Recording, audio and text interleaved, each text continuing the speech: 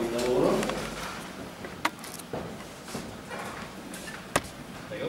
Buongiorno. Allora, la- l'associazione Pan Italia, che penso tutti conoscete perché credo sia l'associazione che al mondo ha prodotto eh, la documentazione più ricca sul tema dei pesticidi negli ultimi dieci anni. Eh, sono famosi eh, parecchi degli studi promossi eh, da questa associazione sì, PAN, PAN, PAN, che vuol dire Pesticide Action Network ed è un network che è presente in tutto il mondo, nel Nord America, è molto forte, è molto forte in Europa e in ogni, e anche in Africa e anche in Asia, in Europa eh, ci sono dei PAN nazionali molto ben organizzati in Francia, in Germania soprattutto e anche in, cioè anche in Grecia per dire anche in altri stati, ma adesso da quest'anno è presente anche in Italia, nel senso che abbiamo costituito una sezione in Italia, di cui è presidente il professor Taffetani, emerito studioso di queste cose, e, e di cui fanno parte già eh, parecchie persone e parecchie realtà che sono distribuite su tutto il territorio nazionale. Il lavoro di informazione fatto da questa associazione è, è recuperabile sui siti internet, purtroppo è tutto quanto in inglese, quasi tutto quanto in inglese e, e uno dei compiti che noi ci siamo dati eh, per- per- da subito è quello di tradurre almeno gli studi più importanti perché sono assolutamente interessanti e sono, eh, ed è possibile utilizzarli nell'informazione poi dopo eh, più diffusa. E questo, eh, questo lavoro che abbiamo iniziato insomma, continuerà nei prossimi, nei prossimi mesi e nei prossimi anni e ci teniamo naturalmente ci teniamo a far diventare questi studi e queste analisi delle proposte concrete che poi vanno fatte agli stati, alle regioni, alla UE e che dovrebbero un pochettino alla volta cambiare le politiche agricole che vengono, fatte lavorare su No, intervista c'era. Ah, sì, sì. quello che fino alle 11, sono stato lì fino alle 10 e mezza. Ah, Dovevo andare via. Giovanni Fughini può dirci due parole? Io ti ho detto prima, tu non eri, non eri a Ah, già hai fatto, scusami, allora quindi è già stato presentato per eh, Pro- Probio, come si chiama? Ave Pro. Ave Pro. Associazione Veneta Produttori Biologici.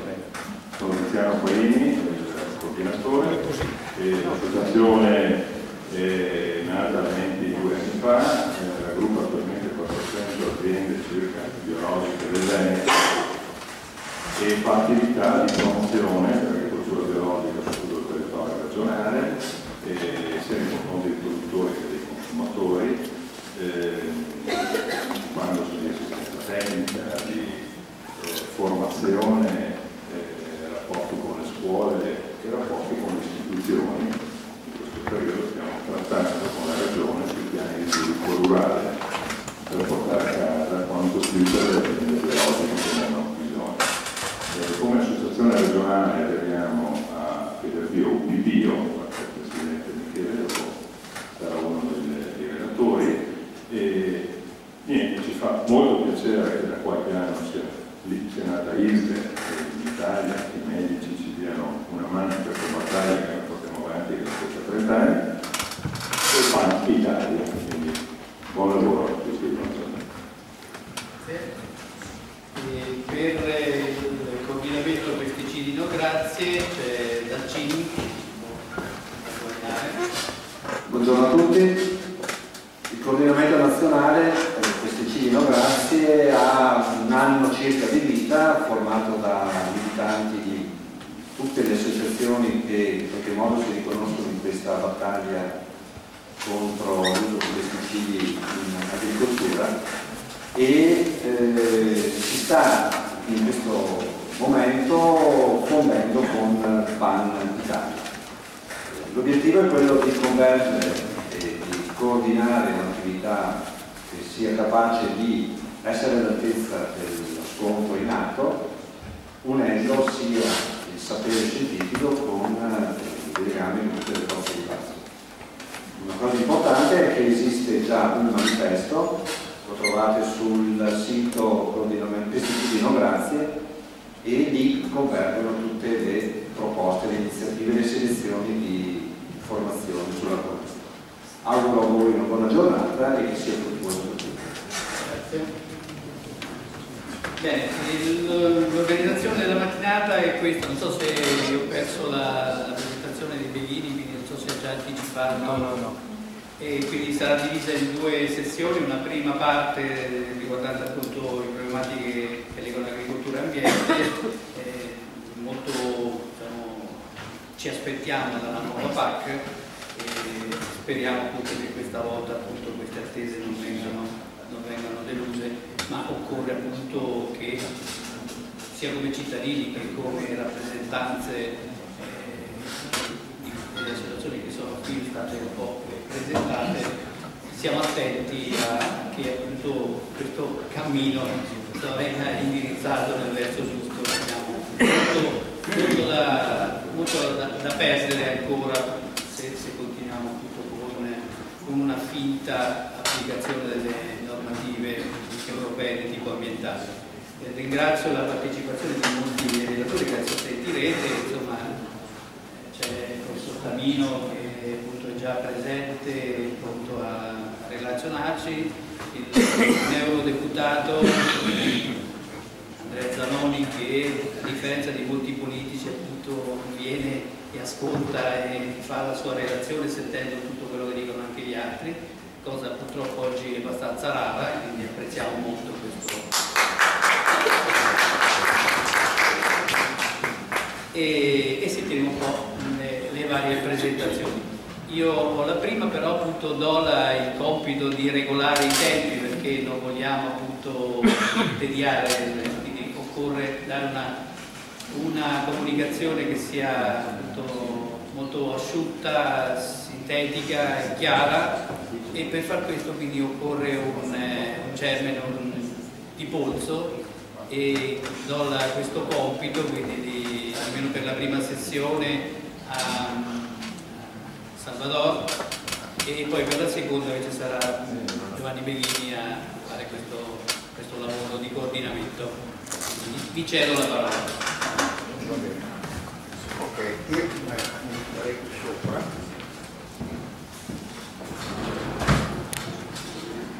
Grazie. Eh, è la seconda volta che vengo in questa sala da qualche anno perché abbiamo fatto una grossa battaglia a Verona contro Cadebue, sapete, qui c'erano vari relatori e per fortuna qualcosa è successo anche. Passando ai pesticidi, oggi è una tematica nascosta, assolutamente nascosta, ma soprattutto perché nuova e dietro a miliardi di interessi, ecco, eh, oggi due associazioni, le più grosse, che stanno lottando contro la dannosità della chimica in Italia, hanno fatto questa assemblea. Ecco. in Italia è il coordinamento nazionale di Cucino Grazie, che eh, tendono a una fusione per dare una sinergia maggiore a tutta eh, l'operazione diciamo, di proposta e di lotta. Eh, questa mattina siamo purtroppo arrivati in ritardo, le 10.10, eh, eh, il professor Tappetani ha già elencato eh, i quattro relatori della mattina, ecco, e poi ce ne saranno uno, due e tre e quattro nel, nel, diciamo nella tarda mattinata. Eh, se vogliamo dividere i tempi, io direi che purtroppo questi saranno stretti, potrei eh, pensare che i relatori potrebbero avere un quarto d'ora circa a disposizione eh, quindi cercare di mantenere eh, diciamo, eh, i tempi eh, in questo senso, in modo da poter dare la parola a tutti quanti e andare a finire ad un orario accettabile, poi alla fine dare la parola magari eh, anche al pubblico per domande specifiche che i relatori possono avere. Ecco, eh, se i relatori sono d'accordo, perché diciamo, questo ritardo ha creato un po' di scombussolamento, eh, io proporrei questi tempi, quindi se non ci sono eh, diciamo, eh, proposte contrarie. Comincerei a chiedere al professor Fabio Tappetani eh, di eh, relazionare per primo, grazie, su questo tema problematiche ambientali della nuova PAC 2014-2020, ecco, quindi una politica agricola comunitaria appena eh, uscita diciamo, nelle proposte. Grazie professore. Bene, mi scuso se andrò un po' rapidamente perché avevo considerato 20 minuti, però cercherò di essere... no, cercherò. Starò nei tempi, cosa più precisa. E, il tema che mi sono proposto appunto riguarda le problematiche ambientali del, dell'agricoltura, problematiche che spesso appunto vengono semplificate in maniera, in maniera eccessiva anche perché c'è una carenza informativa su quello che sono diciamo, l'impatto delle attività agricole, soprattutto nelle zone ad alta utilizzazione economica, utilizzazione economica intensiva. La situazione del, del quindi l'argomento che, che tratterò appunto riguarda questa situazione, la complessità di questi rapporti, il fatto che appunto vengano spesso, troppo spesso semplificati senza un'adeguata conoscenza e quindi vi darò appunto un po' di informazioni riguardo a molti lavori che sto facendo questo, in questo ambito e di cui si ha veramente pochissima eh, livello di conoscenza. La seconda e ultima parte riguarda invece appunto questa scommessa che noi abbiamo con la nuova PAC che appunto si sta sempre più, per chi insomma segue poi i lavori, si sta sempre più diluendo in, in forme soprattutto tra l'altro proprio promosse, richieste, sollecitate anche dal, dalle nostre rappresentanze, dai nostri rappresentanti sia politiche che, che, che del, del, mondo produttivo, quando eh, saremo noi come italiani, come paese mediterraneo, eh, i primi beneficiari di una, di una greening, di un cambiamento veramente forte del, della politica europea sull'agricoltura.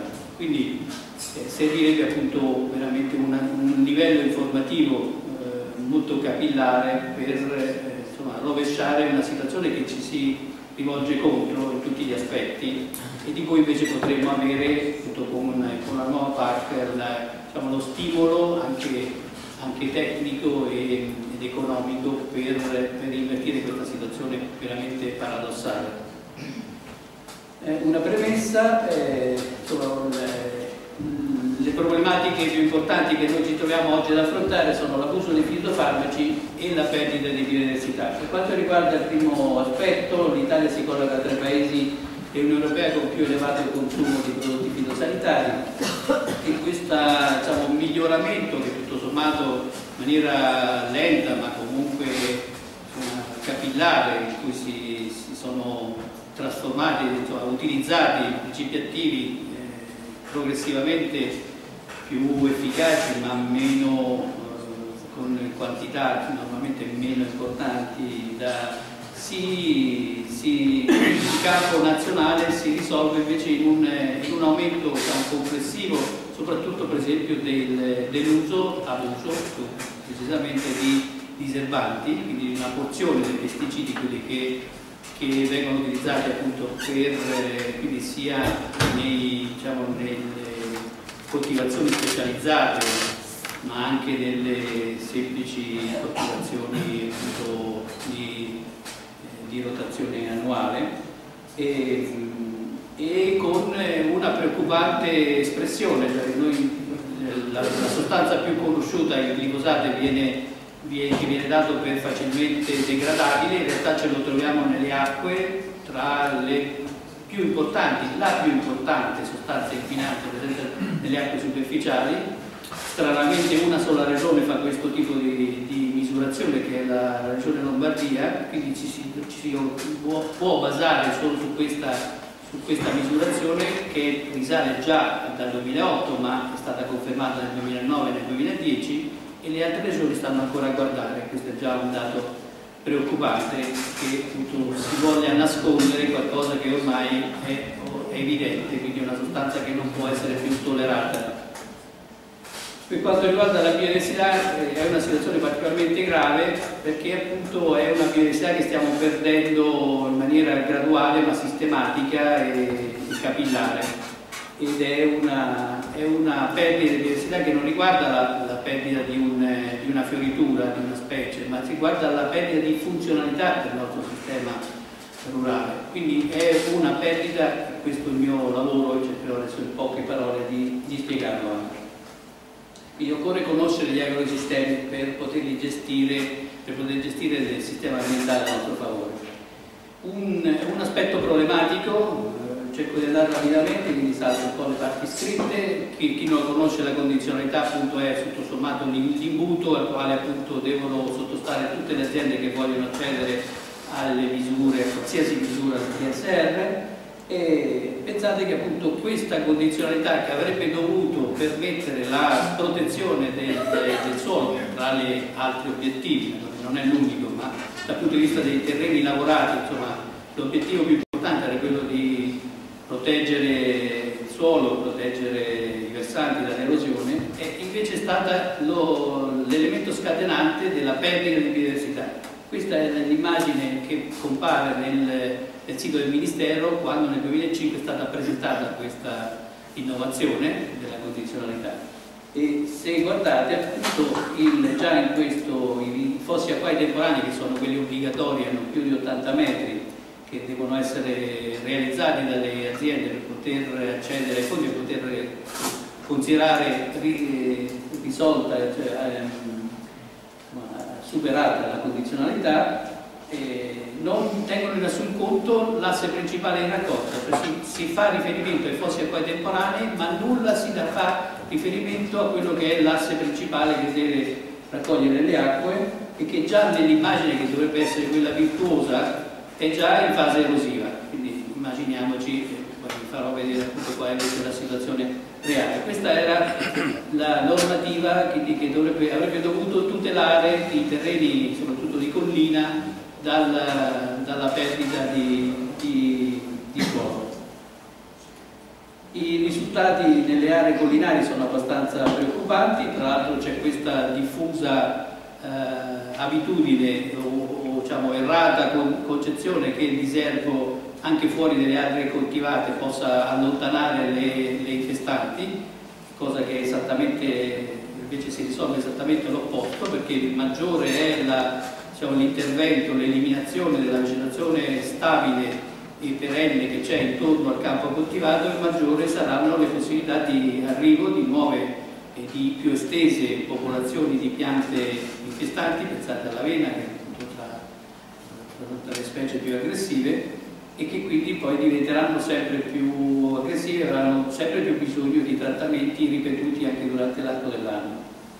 Queste appunto alcune delle, delle eh, applicazioni virtuose, qui sembra quasi un, un ricamo del terreno, però appunto guardate l'erosione che si innesca proprio perché non si rispettano, non si mantengono i fossi principali, la, la, la vegetazione nel, nel, fosso che svolge e questo è il risultato a livello di dettaglio. Abbiamo situazioni di erosione eh, particolarmente grave e quindi perdita di, di biodiversità e di, e di, funzionalità soprattutto di tutto il sistema idrico iniziale, tutto il reticolo idrografico eh, iniziale e naturalmente poi anche il resto. Il, rapporto tra convenzionale e biologico ce lo spiegheranno meglio i rappresentanti del, dell'agricoltura biologica, quindi lo salto completamente, ma appunto abbiamo una situazione tutt'altro che, che, che, che, vantaggiosa. La perdita di biodiversità dal punto di vista insomma, paesaggistico è notevole e, e tutto è cioè, aggravato da questa appunto, abitudine a fare appunto, a utilizzare in maniera perché è stato così trasmesso che il, il si degrada rapidamente, è innocuo, si può usare quindi senza nessun problema.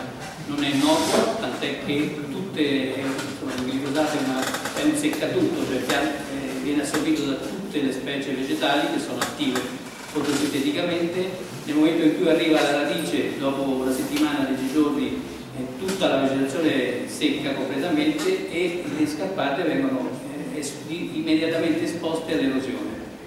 In più c'è tutta la perdita di biodiversità dal punto di vista degli, della fauna del terreno, della fauna che vive nella vegetazione, quindi è una, è una semplificazione della, della ricchezza e del, di, della funzionalità di, del, nostro, del, nostro, sistema rurale che è veramente gravissima, che stiamo già pagando gravemente.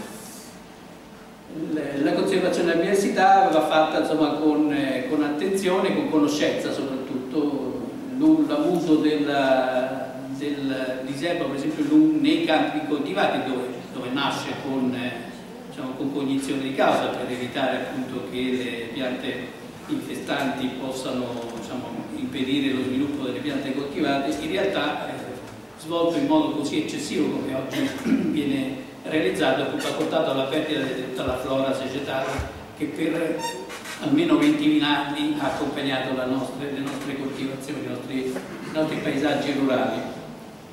Un esempio sono marchigiano, quindi ho studiato un po' tutte le regioni che si affacciano sul, sull'Adriatico, però appunto naturalmente i miei dati più abbondanti riguardano questa regione e questa immagine mi serve per spiegare una situazione che riguarda anche il Veneto e tutte le regioni italiane, cioè che noi stiamo assistendo a una perdita grave di biodiversità sia nelle zone collinari e di pianura dove sappiamo già di aver fatto grossi danni e stiamo continuando comunque a perpetrarli, non, abbiamo arretrato ancora del passo, stiamo perdendo biodiversità che nelle zone pedemontane, nelle zone dove si svolge l'agricoltura diciamo, marginale del, delle zone montane dove eh, l'abbandono la, invece delle pratiche tradizionali fa sì che noi perdiamo biodiversità perché si tratta di una biodiversità antropica, una biodiversità tra l'altro che per noi è particolarmente importante perché è quella legata al pascolo, alla zootecnia,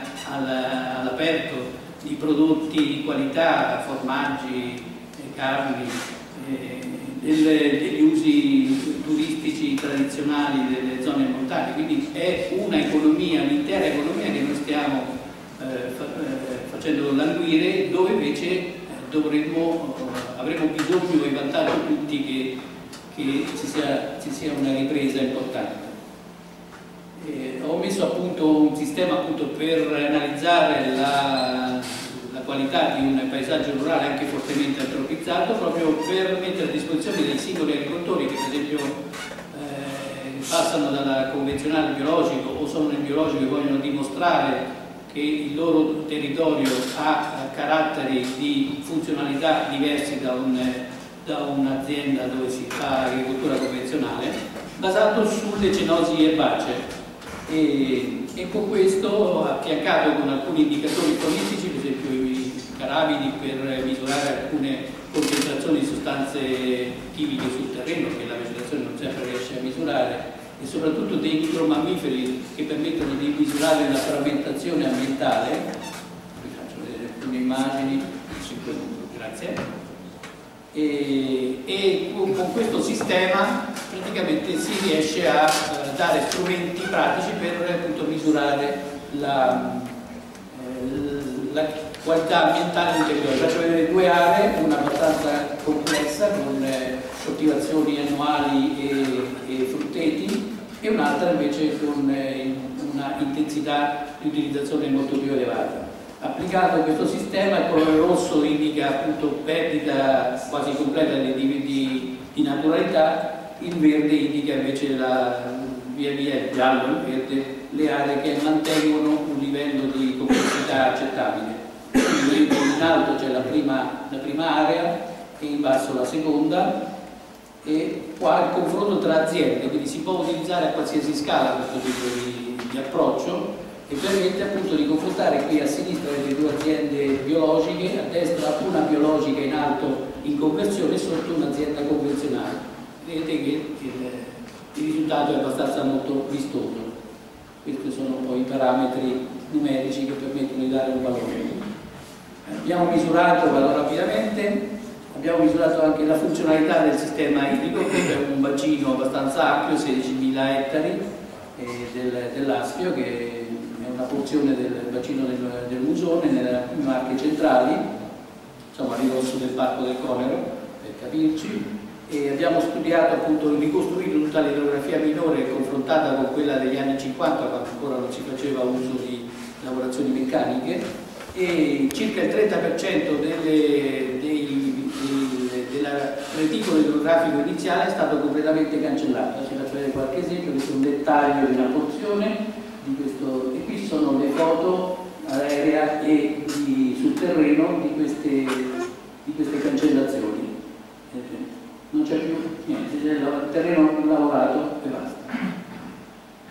E chiaramente questo significa che qui si ha erosione, a valle si ha eh, accumulo o accentuazione dell'erosione a seconda appunto che il tragitto del reticolo appunto eh, attraverso una, una, località pianeggiante o ancora in pendenza e tutto si, si risolve in un'accelerazione del, del deflusso, una perdita di funzionalità, una nessun abbattimento del carico organico eh, ed erosione perdita di suolo veramente sensibile. Ci aspettiamo molto dalla, dalla nuova PAC, vado rapidamente perché ho già avvisato che sono alla fase conclusiva, quindi insomma, lascio insomma, il, a una slide che ho. Ecco, una cosa interessante è il fatto che si sta sempre lampicando il cervello sulle superfici da lasciare per queste fasce inerpite, intanto inerbite bisogna vedere come, perché se sono già presenti fasce inerbite e, e quindi una, una vegetazione stabile è una cosa, se le dobbiamo ricostruire naturalmente bisogna che le facciamo con criterio, quindi che non peggioriamo, peggioriamo le cose, ma sull'ampienza la cosa semplice sarebbe anziché fare, eh, rapportarle alle dimensioni dei corsi d'acqua, spesso appunto poi diventano una, una sorta di questioni della caprina, stare a stabilire se sono un metro, cinque metri, 6 metri e via. Basterebbe che ci, si lasciasse stabilmente una fascia per l'intervento di manutenzione, visto che i fossi hanno bisogno di, essere, di avere manutenzione, una fascia di un metro e mezzo, massimo due metri, dove ci si può eh, muovere con un mezzo meccanico per assicurare lo sfalcio della fascia erbosa, ma poi la manutenzione del, del sistema idrico. Poi naturalmente la costruzione di questi sistemi va fatta con criteri corretti, quindi con il reperimento dei semi in campo locale, questo crea tutta una serie di attività economiche importanti, nuove professionalità che oggi non ci sono e che non vengono richieste semplicemente perché stiamo continuando a danneggiare il nostro territorio anziché costruire cose positive. E, e questi sono alcuni dei servizi ecosistemici che dovranno caratterizzare appunto le aziende che non saranno più finite non hanno più finanziamenti su base produttiva, ma su base appunto dei servizi ecosistemici che potranno garantire. E anche qui abbiamo molto lavoro da fare. Mi piace ecco, concludere un po' con questa slide che è la PAC vista per aree diciamo, altitudinarie, per fasce altitudinali. Nelle zone di pianura e di collina abbiamo la, dovremo prevedere un'attenta applicazione della condizionalità, quindi che eviti quei problemi che abbiamo visto, l'applicazione della greening delle aree di interesse ecologico, la sigla inglese, e soprattutto una cosa che dovremmo pensare, cominciare a pensare di fare è valutare i danni ambientali, quindi chi vorrà continuare a, eh, a utilizzare pesticidi e a fare un'agricoltura intensiva dovrà pensare che non solo non svolge un servizio ecosistemico, quindi forse non accederà tutti i, i finanziamenti che ritiene di poter avere diritto, ma dovrà rispondere ai danni ambientali che sta realizzando che sono stati perpetrati fino ad oggi. Nelle aree altocollinari e pedemontane ci sono aree di interesse ecologico appunto, che possono essere più facilmente applicate e soprattutto c'è molto lavoro da fare sulle HNV eh, farmland, cioè sulle aree ad alto valore, delle agricole ad alto valore naturale sulle aree pedemontane e montane abbiamo le misure del PSR sempre per le aree svantaggiate e poi le aree di natura 2000, quindi le aree sintesi della PS. Molte regioni hanno fatto qualcosa ma siamo molto indietro rispetto ad altri paesi dell'Europa e quindi stiamo rischiando di non prendere i finanziamenti perché avere i piani di gestione di queste aree significa poter permettere alle aziende di accedere ai fondi europei, non farle quindi significa non accedere ora ai fondi tra qualche anno pagare sanzioni europee. Quindi siamo veramente in una situazione molto grave e, e questo appunto è il nostro patrimonio più, più delicato e più importante, quello delle zone montane. Concludo l'agricoltura eh, che ha diritto ad essere sostenuta, quindi dalla nuova PAC, deve rispondere ai bisogni della società, alla funzionalità e alle potenzialità ambientali, deve cioè produrre alimenti sani e di qualità mantenere la diversità, un ambiente funzionale e paesaggio gradevole, garantire la salute di operatori e cittadini. Solo così può divenire, può divenire questa attività agricola, possa divenire un'opportunità anziché, eh, anche, anche economica, anziché costituire un problema.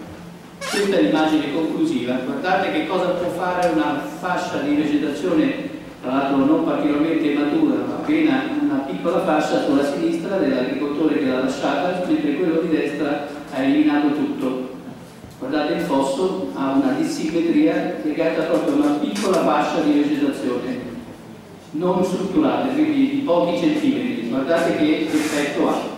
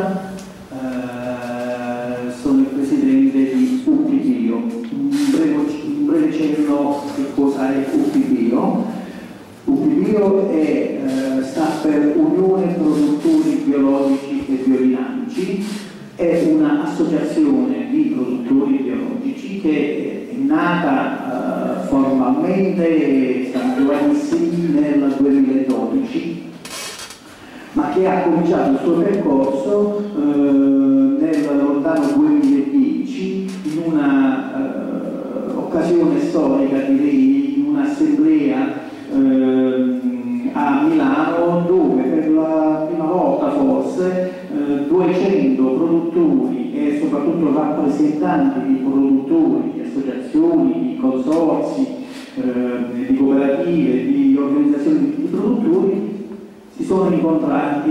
Milano e abbiamo avuto una due giorni di dibattiti e lì ci siamo resi conto che tardi noi aziende agricole biologiche non ci sentivamo rappresentate e tutelate dalle confederazioni sindacali, parliamo di Cotiletti, CIA. Avevamo la netta impressione, ma eh, ognuno di noi pensava fosse una propria impressione. In quella giornata ci siamo resi conto che era una impressione comune. Alla Cotiletti, alla CIA e alla Confagricoltura eh, non gli importa niente del biologico, ma non gli importa niente tra l'altro sono anche in conflitto di interessi. Come può una confederazione parlare di biologico e poi vendere chimica nei propri consorsi, nelle proprie strutture? È in aperto conflitto di interessi. Dal 2010 è nato un percorso che si è formalizzato nel 2012 con appunto la formazione di questa associazione che si chiama Pibio e che ha deciso di collocarsi all'interno di un'altra grossa, unica grande eh, confederazione rappresentativa del bio in Italia che si chiama Federbio. Noi praticamente siamo la sezione soci di Federbio. Ho fatto questa presentazione perché devo dire che dal 2012, quando siamo partiti, superata una prima fase iniziale di capire cosa vogliamo fare da grandi, chi siamo, dal, esattamente un anno fa, il 21 marzo 2013, io sono il nuovo presidente eh, di UPBio e eh, abbiamo cominciato un percorso, devo dire, molto guerrafondario eh, nei confronti della chimica. Eh, innanzitutto abbiamo portato avanti eh, tutta una serie di iniziative che adesso cercherò di illustrarvi. Eh, mi è stato il di parlare della nuova parte delle misure agroambientali la storia delle misure agroambientali in Europa è piuttosto lunga ed è sotto gli occhi di tutti. Inizia da quando la CE ha codificato il regolamento 2092, che è quello che riguarda appunto il biologico, sostituito recentemente con l'834 e, e le misure di accompagnamento della PAC eh, con l'integrazione dei principi di ecocondizionalità ma anche con il rilancio dello sviluppo rurale e misure obbligatorie nei PSR a favore dell'agricoltura biologica. Dal 2007 al 2013 l'Europa ha stanziato 200 miliardi di euro per lo sviluppo rurale, atti a pagare servizi ecologici forniti dagli agricoltori e sostenere gli investimenti in tal senso definiti prioritari senza tuttavia, secondo noi, ottenere importanti benefici ambientali. I pesticidi sono incrementati, l'Italia consuma il 30% dell'intera agricoltura europea, eh, quasi una, lo 0,7% eh, di, di mele su, su 100 ha eh, residui oltre i limiti di legge. 23 hanno residui, 33 ne hanno più complessivamente hanno subito 25 trattamenti, uno ogni 15 giorni. Occorre quindi prevedere eh, dei compensi specifici per quegli agricoltori che incrementano realmente l'humus nei terreni riducono il consumo di energia non rinnovabile, aumentano la biodiversità ambientale. Ciò che è passato, nel passato PSR, secondo lui, spesso è rimasta solo teoria. Perché le cose effettivamente in Italia, in generale, sotto questo aspetto, non sono andate esattamente come il cittadino europeo, europeo auspicava. L'Italia, secondo noi, con miopia cronica, ha spesso contrastato i principi della politica comunitaria, soprattutto distogliendo fondi al biologico in favore di agricolture integrate e conservative che di ambientale hanno avuto solo l'abuso dei fitofarmaci efficienti e corretti solo nel massiccio impiego. Abbiamo assistito in questi anni a, a scempi sotto il, eh, il profilo eh, agroambientale e scempi di risorse che la comunità europea aveva destinato per le misure agroambientali. E abbiamo assistito e sentito parlare in questi anni di agricoltura integrata, agricoltura blu, semina sul suolo, agricoltura conservativa in Basilicata. La minima lavorazione dei terreni, parliamo di agricoltura conservativa, è utilizzata da anni in agricoltura biologica con ottimi risultati. I produttori biologici non, non siamo quindi contrari in linea di principio all'agricoltura conservativa, anzi, ma suo abuso sì. E ci riferiamo in particolare al sensibile incremento di fitofarmaci e fertilizzanti da impiegare con ocalatezza e frazionali in dosi e retoche appropriate Articolo 4 del bando della Regione Basilicata, misura 214, agroambientale, azione 6, introduzione di tecniche di agricoltura conservativa. Nel 2013 è uscito fuori questo bando in Basilicata che eh, ci ha visto eh, in, in primo piano nella lotta contro questo spreco. Eh, premetto io personalmente purtroppo, per, ma non per la Basilicata, io personalmente sono della Basilicata e quindi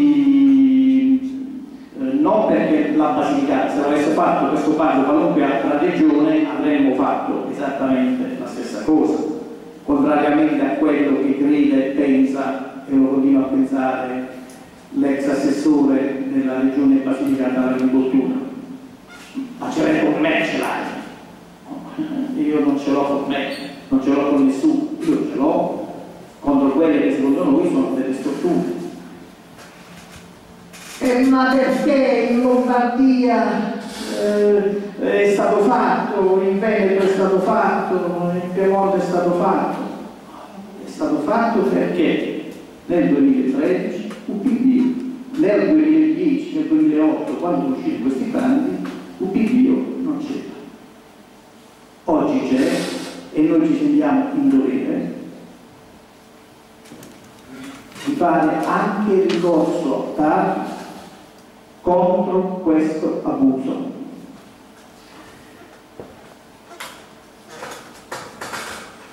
La Regione Veneto non è il migliore della Basilicata. Giunge addirittura a sponsorizzarne l'utilizzo. Sono ammessi esclusivamente, esclusivamente principi attivi dissettanti totali, glifosato, glifosinato ammonio, glifosato silesio, in quanto risultano facilmente non miscivibili, si legano ai colloidi e sono degradabili per via microbica e aerobica con la formazione di acqua, sodo, fosforo, ce possiamo mangiare praticamente. Regione Veneto, misura 214, agroambientale, azione 1, agricoltura conservativa, limiti e condizioni. Stavano già nel 2010 preparando il terreno probabilmente per l'OGM. Salvo poi l'ISPRA rilevare proprio il glifosato come la vita, come ha detto prima che era sotto eh, pedale, come il principale inquinante delle falde acquifere, sia superficiali che di profondità. E la Monsanto spacciato fino a qualche anno fa per biodegradabile, fin quando non condannate e portate per pubblicità ingannevole in Francia. Pubblicità ingannevole, non per disastro ambientale. ed in Italia lo promuoviamo con le misure agroambientali.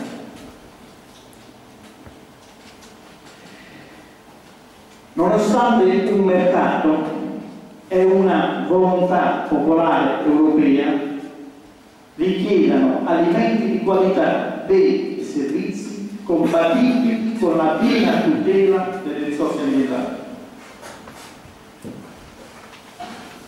a nostro modo di vedere siamo al limite della truffa comunitaria, di cui l'Europa potrebbe un giorno anche renderci conto. Ci sono dei ricorsi amministrativi a riguardo in atto, Umbria, Toscana, Marche, con premi ettaro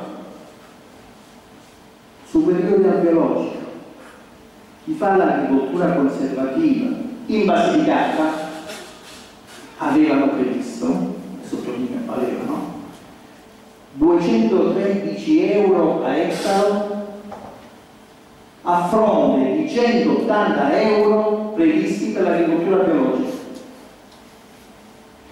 Quando sono andato a parlare con, con l'assessore a riguardo, mi aveva proposto un, un compromesso, ci guarda, lasciamo stare, voi siete un po' talebani, sai, ce l'avete un po' col mondo intero. Io vi aumento il premio per l'agricoltura biologica e lasciamo stare l'agricoltura conservativa. Abbiamo detto no, a prescindere che il premio lo devi aumentare perché va aumentato considerate qui in Umbria per fare un esempio. Eh, eh, l'agricoltura biologica dei seminativi cereali viene premiata con 500 euro per ettaro noi in Basilicata siamo 180 vabbè non, non apro questo, eh, questo versante in Veneto come vedete su 245, dai 245 ai 400 euro eh, per quanto riguarda l'agricoltura conservativa, premio ettaro per l'agricoltura biologica 237 euro. Agricoltura biologica, parliamo di un'agricoltura normale a livello europea, riconosciuta come eh, eh, dare dei grossi benefici ambientali, non solo anche alla salute umana e anche e soprattutto, perché no, alla salute delle aziende agricole che non, non utilizzano la vita. All'impegno di un piglio, ma devo dire, fosse stato solo per noi, non avremmo ottenuto questo risultato. L'agricoltura conservativa in Basilicata si sarebbe fatta. Noi abbiamo coinvolto il tavolo unitario agricolo ambientale, che è un tavolo che si è formato proprio per dire la nostra sul, sulla PAC e che incisivamente con dei comunicati, con eh, un ricorso alla Commissione europea, eccetera, eccetera, questo piano dalla Commissione europea non è stato approvato. È stata quindi ottenuta una vittoria storica, direi secondo noi, bloccando il bando in Basilicata. Non per il bando che eh, prevedeva 2 milioni di euro, cioè era irrisorio, ma è probabilmente, speriamo, in Italia passato un principio. C'erano in tutte queste, quelle regioni che già adottano le, le, le misure eh, conservative, c'erano altre regioni che si stavano buttando, la Puglia, che si sono bloccate. A me piace pensare che si sono bloccate perché noi abbiamo bloccato l'agricoltura conservativa in Basilicata. Poi magari ci speriamo che si alzardino a fare queste portate, perché noi siamo decisi e determinati ad andare fino in fondo. Quindi grazie a AIAP, non cito tutti, a questo uh, AIAP dell'ambiente, WWF eccetera, UPBio, che abbiamo formato questo tavolo e abbiamo ottenuto questa lotta perché siamo stati uniti e determinati. Ripeto, se fossimo stati da soli come UPBio non avremmo ottenuto questo risultato veramente speravamo di ottenere, siamo montati la testa nel gruppo, insomma, perché eh, di ottenere un analogo risultato con le nostre ambiziose proposte sulla, sulla PAC che citava prima il professore, attraverso una riforma coraggiosa che andasse verso un futuro sostenibile dell'agricoltura. Purtroppo adesso vado veloce, così non è stato perché la PAC è stata condizionata dai poteri forti delle grandi lobby dell'agricoltura industriale e convenzionale e non ha prodotto quella riforma che auspicavano milioni di cittadini europei. Le nostre proposte ambiziose riguardavano almeno un 50% per le risorse agroambientali, limiti massimi stringenti dei pagamenti diretti, Pensate che uno dei maggiori fruitori delle risorse agroambientali è il principe Carlo Inghilterra, che non so quanti milioni di euro percepisce dalla comunità per le sue aziende agricole e biologiche, noi avevamo sostenuto che vanno messi dei limiti. Ma le regioni dovranno ancora definire il quadro strategico di riferimento per la programmazione dei fondi la nuova PAC prevede che si formino dei tavoli di partenariato regionale che vedranno coinvolte associazioni di categorie di protezione ambientale con forme di partecipazione che speriamo e ci auguriamo non siano sostanziali. Vado avanti su quelli che sono gli obiettivi perché devo chiudere della nuova PAC, eh, del, nuovo PSR vede data molta attenzione alla gestione dei fertilizzanti e dei pesticidi, eh, incentivare l'uso efficiente di risorse per il paesaggio, adoperarsi per l'inclusione sociale, la riduzione della produttività, quindi per lo sviluppo. Il nostro Paese però dovrà ancora assumere ancora importanti decisioni al riguardo. Su molti temi che i regolamenti della PAC hanno demandato i singoli Stati membri, come ad esempio la descrizione appunto dell'agricoltore attivo, chi è questo agricoltore attivo che ha diritto eh, ai contributi, il tetto massimo degli aiuti, appunto di cui già parlavo prima, le misure per i giovani agricoltori e l'eventuale flessibilità per i due pilastri, il primo pilastro e il secondo pilastro. Possiamo quindi ancora essere incisivi e determinanti nelle scelte se riusciamo a coordinarci ai vari tavoli di partenariato regionale dove abbiamo il diritto e il dovere di dire la nostra e di incidere sulla nuova futura programmazione. È importante lavorare quindi ad una strategia condivisa e unitaria di scelte sostenibili. Io qui ho legato eh, ipoteticamente quelle che erano le associazioni di cui facciamo già parte del tavolo agricolo ambientale con queste nuove sigle prima che sia troppo tardi. Grazie.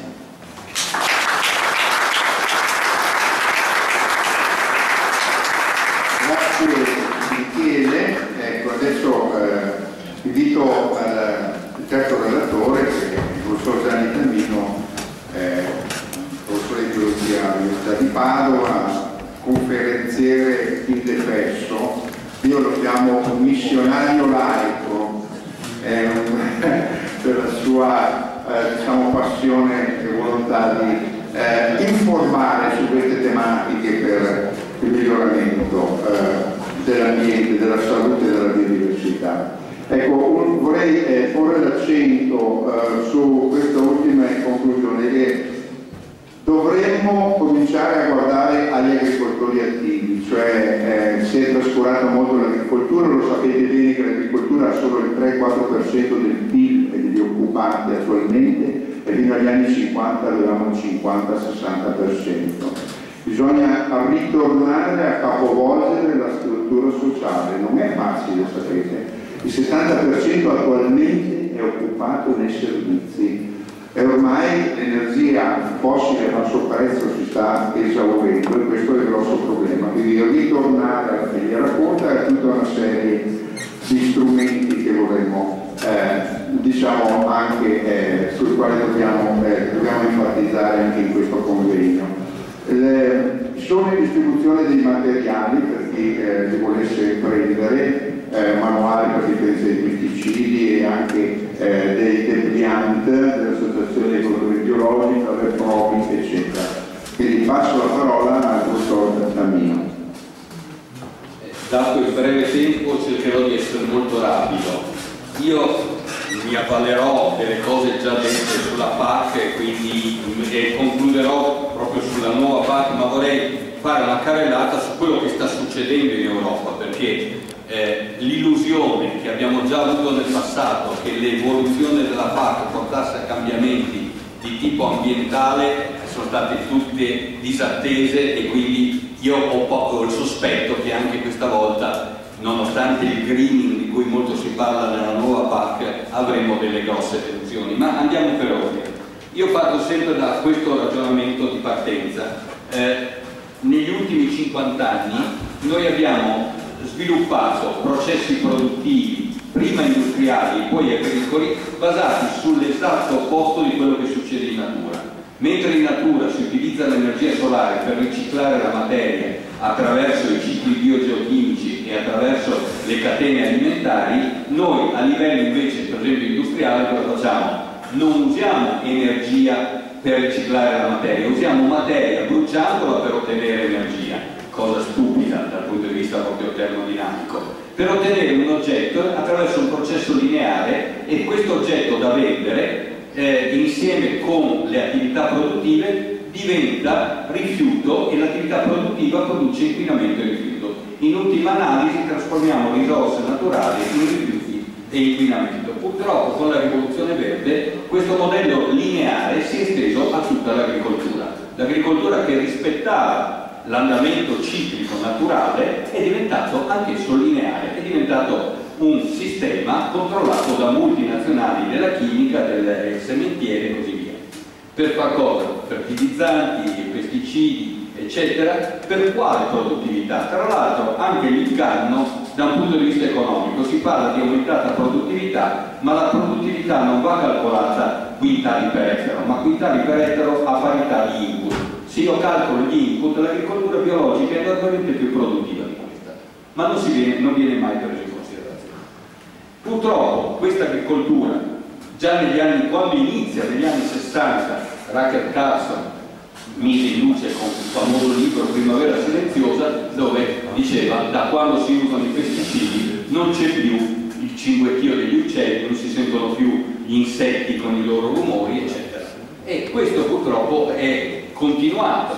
Eh, le tecniche intensive di lavorazione hanno, l'abbiamo già sentito, distrutto il paesaggio alterato la biodiversità, inquinato l'ambiente e in realtà eh, tutto questo, come dicevo, non è che abbia aumentato significativamente la eh, produttività e neanche l'aumento di produzione totale servito alla fame nel mondo, visto che abbiamo più gente che soffre la fame anche in proporzione a quant'è la produzione agricola rispetto a un tempo.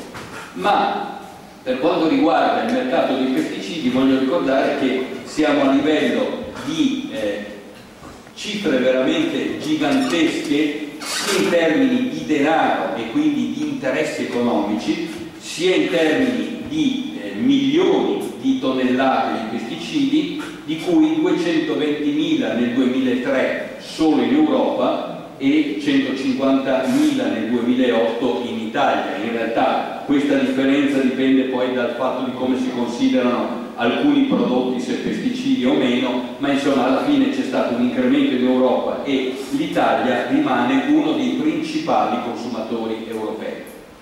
La politica agricola d'un tempo, diciamo quella che c'è stata fino adesso, eh, ha eh, avuto come eh, logica quello degli aiuti, ma gli aiuti che non sono mai serviti a rendere realmente autonoma l'agricoltura europea, perché il punto di partenza, partiamo dalle origini, era che l'Europa importava prodotti agricoli dall'estero.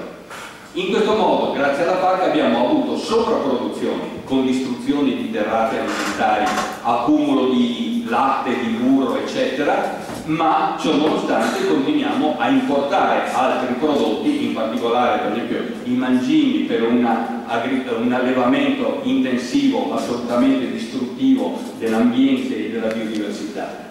Quindi alla fine la PAC nelle sue varie versioni anche quando parlava di eh, migliorare la distribuzione dei fondi a favore dell'ambiente, in realtà non ha mai messo in discussione i grandi interessi economici delle multinazionali della chimica e la logica delle coltivazioni invasive, inquinanti e degli allevamenti intensivi. Infatti, nonostante la PAC, questo è il risultato nell'anno, credo 1999, dell'inquinamento delle falde da pesticidi in Europa. Questa è l'Agenzia Europea per l'Ambiente che lo mostra, passando da giallo, arancione, rosso abbiamo l'incremento, la maggior quantità di pesticidi nelle falde. Come vedete, pianura padana, costa adriatica in Italia e altre zone del centro-nord Europa sono praticamente tutte rosse. Sempre l'Agenzia Europea per l'Ambiente e per l'acqua sotterranea ricorda che la, i problemi più importanti sono l'inquinamento da nitrati e pesticidi, cioè l'agricoltura intensiva. L'impatto dei pesticidi, e qui Gianluigi Salvo sa bene cosa vogliono dire queste due immagini, visto che le ho prese da lui, e, e, e nelle zone, per esempio del Trevigiano e del Prosecco, ecco l'uso del glifosato che non serve assolutamente sotto eh, i vigneti, ma quel giallo che vedete, e qui, i, scusate, e qui i pesticidi come vengono irrorati addirittura con l'elicottero perché la Regione Veneto in deroga alle norme generali continua ad autorizzare lo spargimento dall'alto con derive dei pesticidi che arrivano dentro le case e addirittura l'anno scorso in un ristorante mentre la gente mangiava.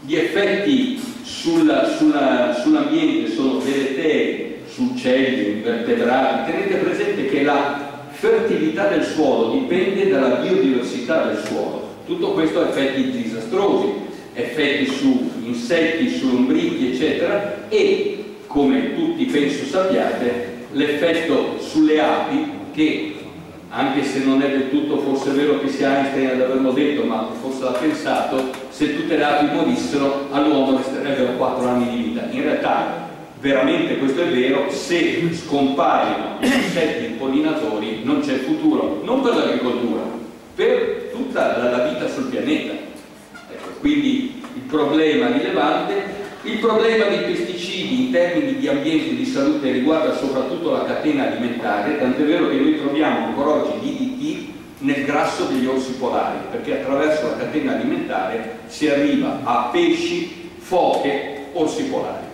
E il DDT in Europa in teoria non dovremmo usarlo dagli anni 70, però continuiamo a produrlo per venderlo ad altri paesi e abbiamo i limiti di legge per l'importazione di prodotti alimentari per quanto riguarda la quantità di DDT presente.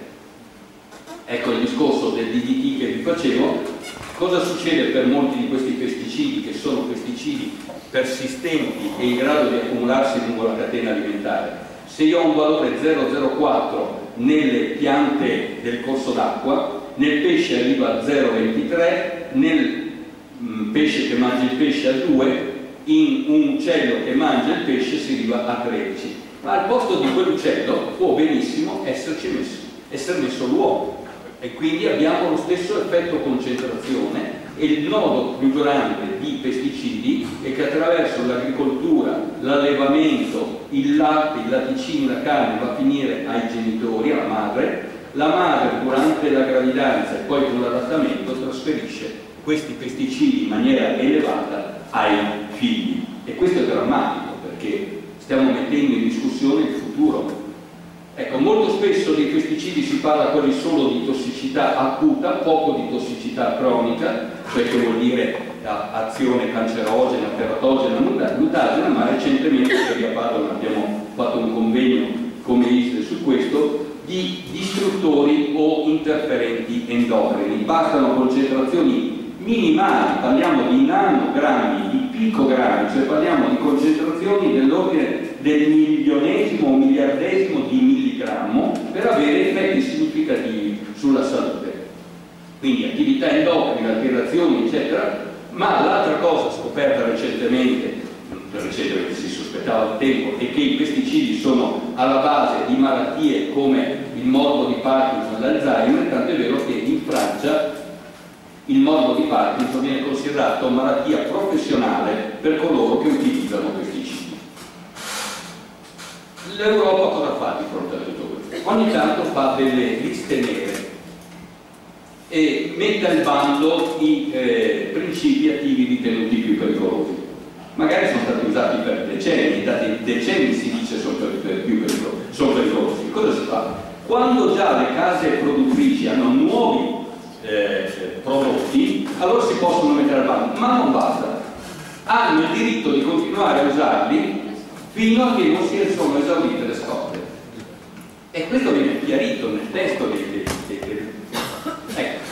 Ora, sia a livello europeo, come già stato detto per quello italiano, se noi prendiamo campioni di cibo, cosa troviamo? Questo è il valore tra il 96 e il 2002, in Italia abbiamo anche valori più recenti, vedete come campioni senza residui sì sono un 60-70%, con residui sotto pari al limite di legge, però sono un 30% abbondanti, e un 3-4% fino al 5% sopra i limiti di legge. Ma qui non si tiene conto di che cosa? Dell'effetto cumulativo di più sostanze. Ecco allora che se vediamo il valore italiano, questa è un'indagine Legambiente del 2012, vediamo che nel 17% noi abbiamo residui multipli, cioè possiamo anche essere sotto i limiti di legge, ma abbiamo fino a 3, 4, 5, 10 diversi pesticidi nello stesso prodotto. Ma noi poi mangiamo altri prodotti. Nell'insieme noi mangiamo dai 50 ai 100 pesticidi diversi, perché questo è quello che si ritrova. L'altro grosso problema che viene ignorato a livello europeo è quello degli adjuvanti. Spesso gli adjuvanti sono più pericolosi dello stesso pesticida. Gli adjuvanti sono quelli che permettono la penetrazione nella pianta o eh, che danno eh, la durata nel tempo del pesticida rispetto all'azione della pianta. Eh, questo è un famoso lavoro del gruppo di Serralini, quello anche che ha messo in evidenza la pericolosità del glifosate e degli OGM resistenti al glifosato. L'altro grosso problema già citato è quello dei metaboliti e quasi sempre si dice ah il prodotto ha uh, scarsa tossicità perché si degrada. Come si degrada? Sì, si degrada in metaboliti che sono spesso più pericolosi, più pericolosi del composto di partenza. È il caso già citato per esempio del, eh, qui vabbè lasciamo perdere, è il caso già citato del glifosate il cui composto meta, eh, frutto del, della trasformazione metabolica, l'AMPA, ha, eh, e poi dà origine anche a formaldeide e altri composti, l'insieme di questi metaboliti già alla, nel 99 eh, era stato dimostrato in Svezia, in una ricerca in Svezia pubblicata su cancer, che erano cancerogeni e soprattutto provocavano linfomi nei bambini. Questo è già stato mostrato, ecco come AMPA e glifosate sono tra i principali eh, composti che troviamo nelle nostre acque. Allora, rispetto a questo la politica europea sui pesticidi cosa ha fatto? la PAC, come abbiamo detto, nulla fino ad oggi. Dopo il 2003 si è detto promuovere pratiche agricole che contribuiscono alla salvaguardia e al miglioramento dell'ambiente e del paesaggio rurale, ma di fatto non c'è stato nessun reale cambiamento. Cioè una delle cose eh, tipiche del, dell'Europa, se eh, Andrea poi magari lo spiegherà Andrea Tramoni, che eh, spesso ci sono dei considerando che dicono le cose più belle di questo mondo. Poi l'articolato riprende solo in parte, ma smentisce il tutto con altri aspetti che sono esattamente il contrario. Adesso lo vediamo rapidamente. Il Fondo Europeo di Sviluppo, sempre nello stesso periodo, parla sviluppo dell'ambiente produttivo, promozione della ricerca di nuove tecnologie, investimento nel campo dell'educazione sanitaria. Belle parole, ma alla quale non corrisponde nessuna reale concreta azione di cambiamento della realtà. Ridurre i pesticidi è la nuova sfida dell'agricoltura europea, questo è del 2008, e Le Monde che scrive, due è il maggiore consumatore di prodotti fitosanitari di sintesi, dice il regolamento sui pesticidi sarà adottato in questi mesi dopo una votazione del Parlamento europeo, per la prima volta tutte le sostanze cancerogene e tossiche la cui pericolosità è stata approvata scientificamente non saranno più autorizzate. In realtà non è andata così, cioè si tiene conto nella valutazione non solo della tossicità acuta ma anche di questo e anche se sono interferenti endocrini. Eh, Linea l'anno scorso diceva che ad eccezione dei prodotti fitosanitari che hanno mostrato un aumento dell'1,4%, tutti gli altri consumi dell'agricoltura sono diminuiti. Cosa significa? C'è una crisi in atto, tutto diminuisce come consumi, ma in Italia l'unica cosa che non è diminuita sono i consumi di prodotti fitosanitari.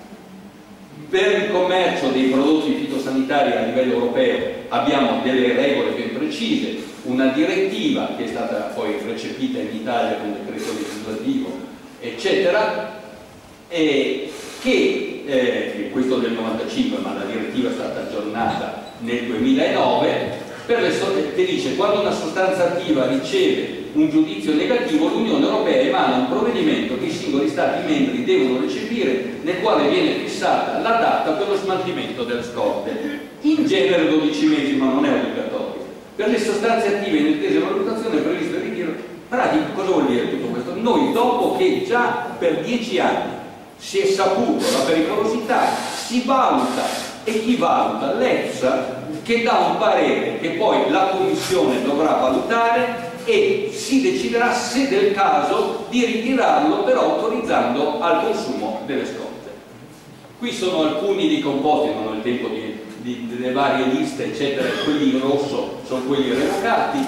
Eh, a marzo la Commissione presenterà l'elenco delle sostanze candidate alla sostituzione, lo doveva fare nei giorni scorsi, cioè il 19-20, io ho guardato nel, nelle cose che sono state decise il 19-20, non c'era quindi dovevano farlo, verrà all'ordine del giorno questo elenco delle sostanze candidate alla sostituzione in base a quella normativa, non l'ho visto.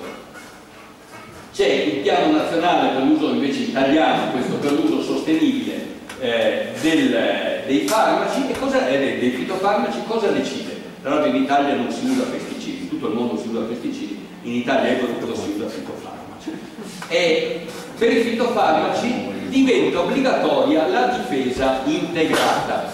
Ora notate che nella nuova PAC in effetti si dice che in prospettiva sarà possibile solo o agricoltura biologica o agricoltura basata sulla difesa integrata o agricoltura integrata.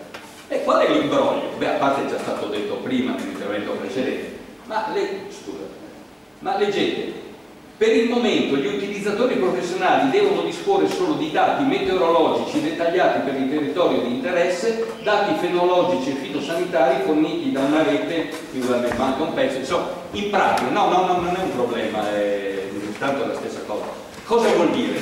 Che per difesa integrata si intende soltanto che invece che andare a calendario io userò, un, basta che dimostro che ho usato il bollettino meteorologico e questi dati fenologici e fitosanitari sono a posto, sono certificato, io faccio la difesa integrata, uso pesticidi esattamente come prima, lo stesso tipo, ma divento eh, degno di ricevere quei finanziamenti che avete sentito prima. E questo è previsto anche nella nuova PAC.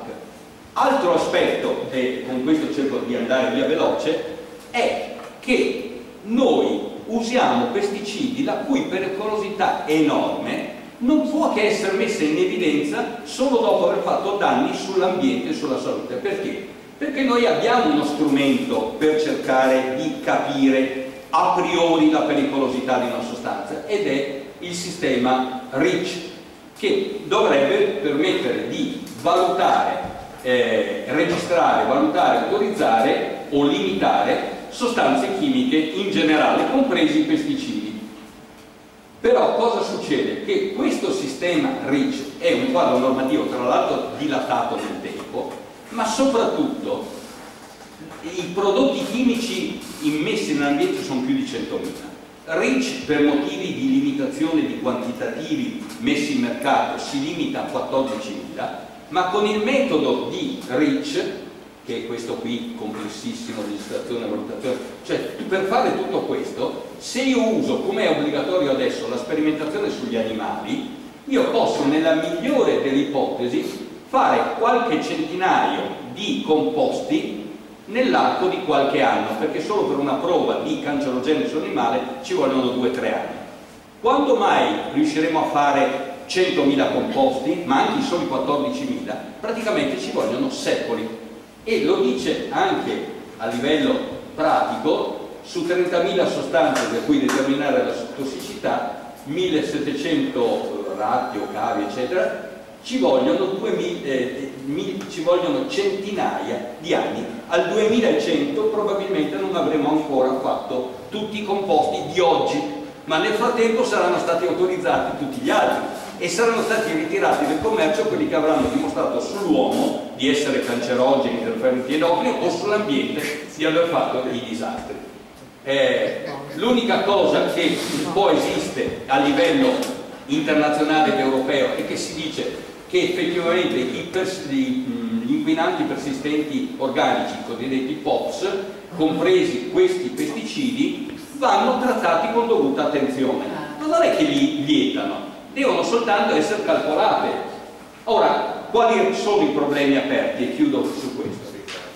Miscela multipla di pesticidi, praticamente solo valutazioni preliminari. Metaboliti, solo valutazioni preliminari. Adiuvanti, praticamente non c'è niente quando dico solo valutazioni preliminari, dico che l'EFSA, per esempio l'anno scorso, ha trattato l'argomento, ha fatto una relazione che si conclude in maniera assolutamente priva di valore pratico, perché deve essere la Commissione a decidere, dice la strategia della, che la Commissione europea sta elaborando sui multiresidui per l'applicazione pratica alla tutela del consumatore farà perno su una matrice per identificare in maniera fondata e coerente ognuna di queste sostanze, eccetera, eccetera. Ma non c'è nessun impegno.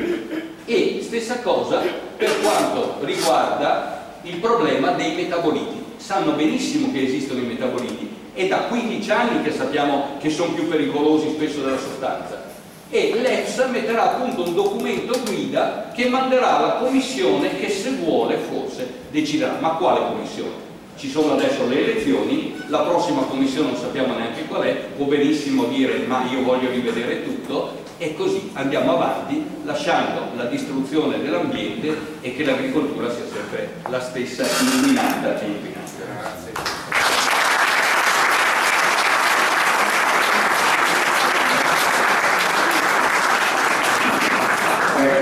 inquinata prossimo relatore è l'onorevole Andrea Zannoni che introdurrà un tema che è un po' il mio pallino, è quello del conflitto di interessi e dei grossi problemi eh, di conflitti di interessi che ci sono nelle case farmaceutiche, chimico-farmaceutiche, che toccano, come avete sentito nella presentazione di Gianni, 800 eh, circa eh, parecchi miliardi eh, di, di, dollari, ma eh, in, anche in Italia tocca circa dagli 800 milioni a un miliardo di dollari solo per i pesticidi, ma attenzione che c'è una spirale perversa perché le stesse case farmaceutiche eh, producono anche i principi attivi per curare le malattie, quindi c'è una vera e propria pianificazione delle malattie croniche pericolosissime che poi anche il professor Burgio eh, ci eh, tratterà ma che dal punto di vista politico tratterà anche Andrea Zanoni. Quindi eh, non resta altro che lottare come società che vuole un futuro, eh, adottare, adottare il principio di precauzione, cioè non deve andare sul mercato nessun prodotto che non dimostri certamente la sua eh, diciamo, eh, eh, non eh, nocività nei confronti dell'ambiente, delle persone e della biodiversità. Vi passo la parola all'onorevole Andrea. Buongiorno a tutti, eh, come diceva diciamo, Luigi mi sono occupato di queste tematiche da tempo anche nel nostro territorio della Marca Trevigiana dove sono intervenuto proprio per quel discorso dell'elicottero e soprattutto anche della questione de della deriva di questi pesticidi. Io sono, mh, faccio parte della commissione eh, ambiente, sanità pubblica e sicurezza alimentare dentro al Parlamento europeo, quindi ho potuto vedere da vicino trattare spesso queste tematiche. E abbiamo eh, esaminato, abbiamo discusso, abbiamo dato un apporto anche su quella che è la PAC di cui tutti hanno parlato oggi e devo dire che eh, il progetto di legge eh, in Europa chi ha eh, la di iniziativa legislativa è la Commissione europea il progetto, il cosiddetto COM, il progetto di legge della Commissione europea sulla PAC, era sicuramente molto migliore, cioè il disegno di Dacian Ciolos, che è il commissario all'agricoltura, era sicuramente molto più verde, molto più green di quella che poi è uscita dal, dall'aula parlamentare, ma soprattutto dalla Commissione Agricoltura. Eh, pensate che per quanto riguarda il greening c'era ad esempio inizialmente un vincolo del 7% di aree verdi, greening, che dovevano essere esentate da qualsiasi attività chimica, diciamo così. Eh, in Commissione Ambiente avevamo portato questa percentuale al 10%, però dopo purtroppo in Commissione Agricoltura eh, i deputati di quella Commissione, eh, sicuramente sotto la spinta anche delle lobby, che sono veramente molto potenti, molto presenti, molto costanti, fanno un lavoro veramente certosino, e anche di un convincimento non da poco, direi così, eh, hanno, hanno svilito e hanno annacquato i contenuti di questa importante riforma della politica agricola comune. Eh, io eh, vi parlerò di alcuni casi anche particolari diciamo, eh, e locali per arrivare a un ragionamento generale e, e di alcune questioni di attualità che potrebbero prendere una piega rispetto a un'altra relative proprio all'agricoltura al biologico. Allora parto da eh, un caso eh, che è relativo al fatto, tra l'altro mi è stato anche segnalato da più di qualche eh, coltivatore, agricoltore biologico, che è quello degli inquinamenti dei, anche dei siti industriali. Oggi molti la avrebbero la possibilità di aprire delle aziende biologiche, ma si trovano vicino a dei siti inquinati eh, che in realtà non consentono eh, di fare questa agricoltura. Eh, perché ci sono dei contaminanti tali da rendere impossibile poi produrre questi prodotti. Questa cosa, questo fenomeno si verifica anche per chi si ritrova vicino delle aziende agricole diciamo, tradizionali che utilizzano chimica e quindi hanno, soffrono della deriva dei pesticidi che a volte rende addirittura eh, non vendibile come prodotti biologici sul mercato i prodotti di un'azienda biologica che rispetta tutti i parametri ma che è sottoposta a questo inquinamento delle aziende vicine. Ma su questo adesso ci sarà una bellissima opportunità di intervento nei prossimi mesi in Europa. Eh, io sono intervenuto ancora nel 2012, io sono entrato a metà mandato in Parlamento europeo perché sono subentrato, quindi ho dovuto prendere questo treno in corsa e nemmeno subito ho potuto entrare in Commissione Ambiente perché sono entrato dopo 5 mesi grazie ad alcuni cambi con alcuni colleghi. Questa interrogazione era relativa al problema che inceneritori, cementifici e fonderie vanno a contaminare prodotti tipici, anche prodotti che hanno una serie incredibile di marchi e eh, eh, che creano grossi problemi. Un problema del genere si è verificato a Brescia dove eh, l'inceneritore, pur essendo uno dei migliori a quanto pare, pur rispondendo a tutti i parametri, non violando mai la legge delle emissioni, nel tempo ha causato un accumulo nei terreni tale che tutte le aziende eh, che avevano le stalle che producevano latte hanno dovuto chiudere perché il latte eh, conteneva diossina oltre i parametri consentiti E questo, e questo è un grosso problema. Allora la mia domanda al commissario è stata questa, la Commissione europea, perché non provvedere anche in, in, pensando alle aziende biologiche dei cordoni di sicurezza eh, entro i quali eh, uh, diciamo, non consentire determinate attività eh, e fare un determinato monitoraggio. La risposta è stata eh, perché eh, si, necess si, renderebbe necessario prevedere delle distanze di sicurezza proprio per garantire questi prodotti. La risposta in realtà è stata molto deludente su questo, la Commissione non intende prevedere questi cordoni di sicurezza ma eh, in realtà dice che non esistono appunto criteri relativi alle distanze da rispettare tra gli impianti industriali delle zone di produzione di prodotti alimentari, la normativa comunitaria definisce direttamente il limite massimo dei contaminanti di qualsiasi origine. Quindi alla fine puoi anche coltivare sotto un cementificio, adesso i cementifici sono i peggiori inceneritori che ci sono in Italia perché nei cementifici si bruciano i rifiuti, si bruciano tutti i tipi di rifiuti e si hanno dei limiti di emissione in atmosfera che sono veramente molto più di larga manica rispetto a un inceneritore, quindi paradossalmente è meglio avere vicino a casa, vicino a una coltivazione biologica, un inceneritore rispetto a un eh, cementificio e la risposta è questa. Bisogna fare le analisi e sono le analisi dei prodotti a determinare se il prodotto è vendibile o no, quindi non si parla di distanze di sicurezza. L'altra partita di cui discutiamo molto in questo periodo, che è all'ordine del giorno per una serie di motivi che adesso vi dirò, è la questione degli OGM. Eh, in Italia abbiamo un grosso problema, abbiamo il tentativo di farla diventare terra di conquista di queste grosse multinazionali degli OGM e abbiamo purtroppo l'Europa che è a favore degli OGM, le normative europee consentono appunto la coltivazione di OGM e tra l'altro l'8 maggio del 2013 la Corte di Giustizia europea ha emesso una sentenza diciamo, a favore degli OGM in Italia in seguito a tutto un contenzioso che è nato in Friuli Venezia Giulia.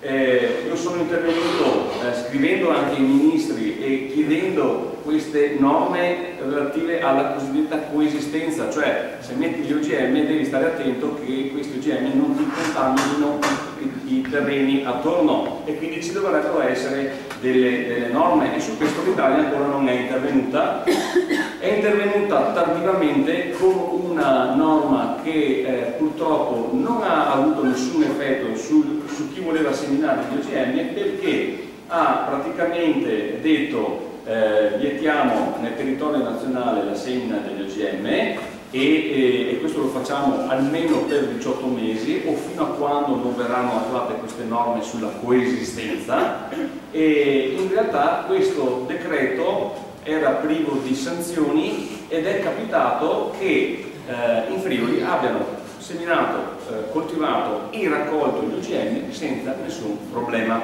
Ehm, in particolare ci sono due signori, io ho fatto un accesso ai dati perché non si sapeva eh, dove erano seminati questi campi, l'ho fatto anche qui in Veneto perché c'era la voce che eh, sarebbero stati piantati e coltivati anche qui in Veneto, la sorpresa è stata che non era il solo e unico fidenato famoso per rappresentare secondo me la lobby anche degli OGM, pur essendo lui un semplice agricoltore, ma anche un certo Dalla Libera, che poi io ho incontrato, ho voluto appunto andare a fare un sopralluogo in questi campi dopo aver avuto le particelle e li sono ritrovati lì. Quindi vedete che sono questi due signori qui eh, che sono riusciti grazie a, una, grazie a, una, serie di ricorsi a, a, ottenere quella sentenza della Corte di Giustizia loro favorevole, come potete vedere eh, è logico ed è chiaro che dietro loro ci sia qualcun altro, perché questi qua sono proprio personaggi che ve li raccomando ed è evidente che c'è la lobby degli OGM che sta,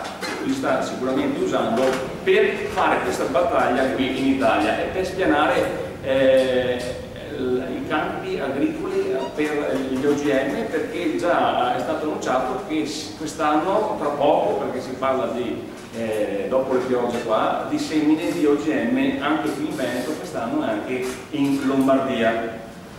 E, e addirittura su questo eh, provvedimento italiano la Commissione europea ha aperto una procedura di infrazione. Quindi le attuali normative europee purtroppo consentono gli OGM, però ci sono degli appigli, ci sono delle novità. Allora, c'è una nuova legge che è stata chiamata regolamento Lepage, è del 2010, è stata approvata dal Parlamento, ma è ferma in Consiglio. Eh, le norme in Europa vengono proposte dalla Commissione europea, ma vengono approvate poi dal Parlamento assieme al Consiglio dell'Unione Europea, che, che nient'altro è se non diciamo, la lobby dei singoli Stati membri. Uh, all'interno di questi, eh, di questi mh, del Consiglio mh, europeo appunto ci sono eh, degli Stati membri che eh, fanno eh, resistenza a che venga approvata in via definitiva questa norma. Che cosa consente questa norma? Questa norma consentirebbe a ciascun Stato membro di vietare nel proprio territorio la coltivazione degli OGM. Non è il massimo, nel senso che non vieta gli OGM eh, nei 28 Stati membri, ma consentirebbe ad esempio all'Italia, se, c'è la volontà politica, di vietare eh, gli OGM in Italia.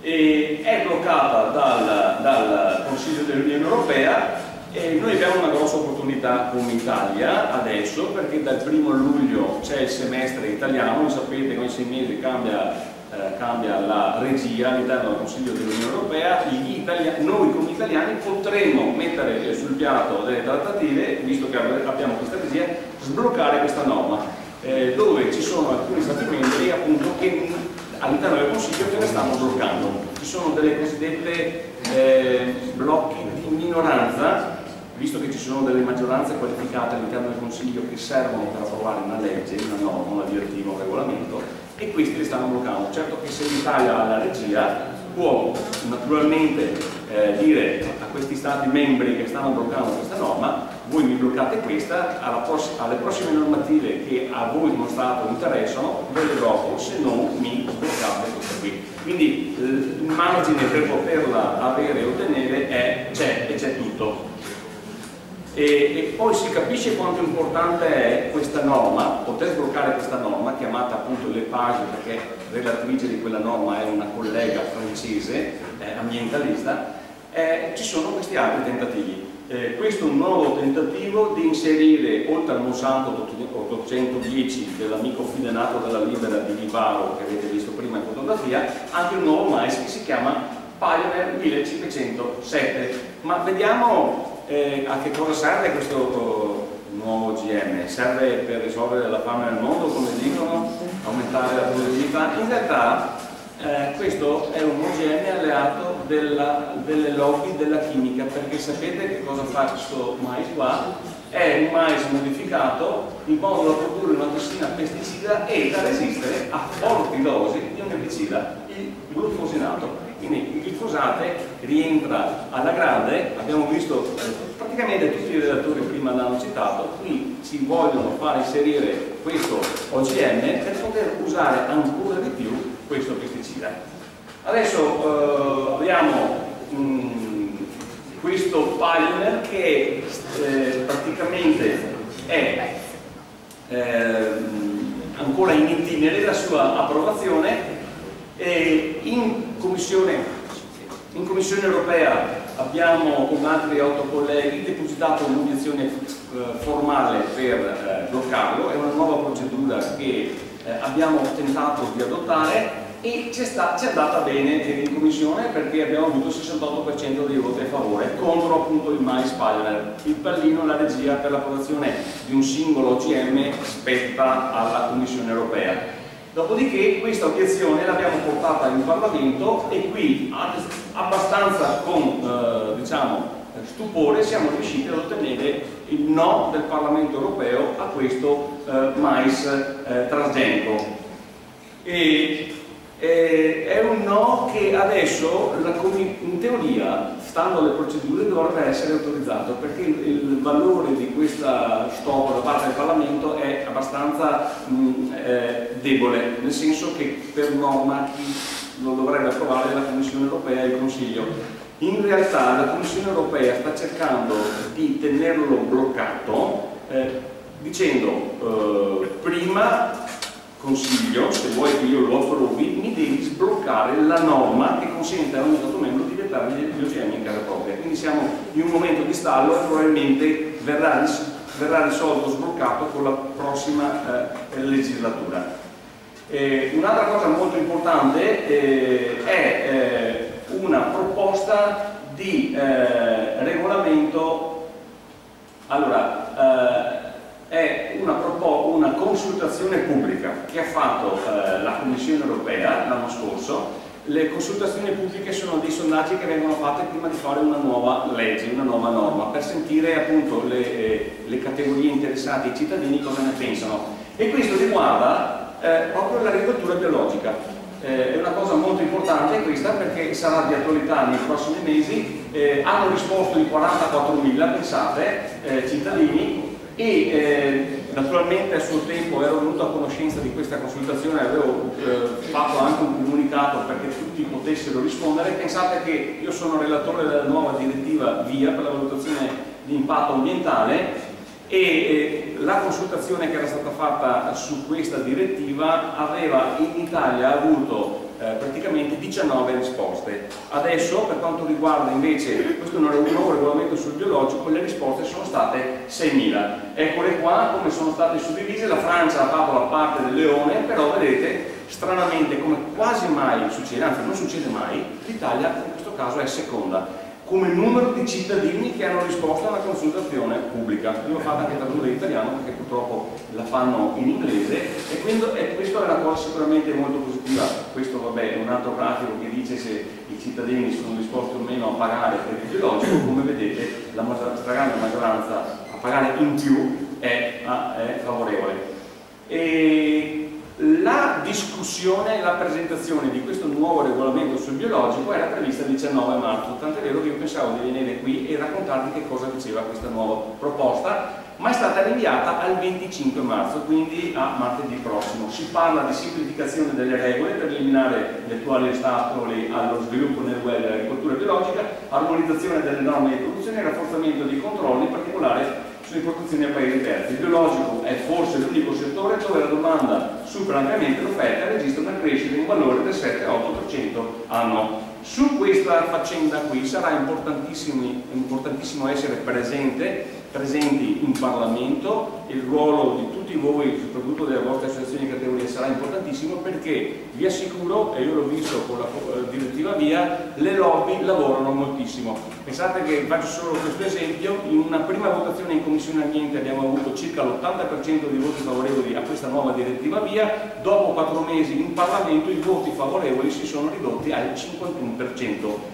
Sicuramente il Parlamento è meno sensibile dei commissari della Commissione Ambiente, ma sicuramente in quei quattro mesi le, hanno lavorato, si sono lavorati deputato per deputato, quindi è importante poi avere anche le persone giuste. Un altro tentativo della Commissione, e questo per quanto riguarda il discorso delle lobby potentissime eh, lo dice chiaramente, che ha fatto la Commissione europea è stato questo di inserire un regolamento, il Plant Reproductive Material Law, per controllare diciamo, il commercio delle semi in realtà eh, con un pubblico registro e con eh, una serie di pratiche burocratiche rendeva di fatto eh, impossibile per i piccoli produttori di semi commerciarli liberamente. E quindi con un'azione che è partita tutta in Commissione Ambiente che abbiamo portato avanti con una decina di colleghi, alla fine eh, la Commissione Ambiente lo ha bocciato e successivamente, con grande soddisfazione, anche il Parlamento Europeo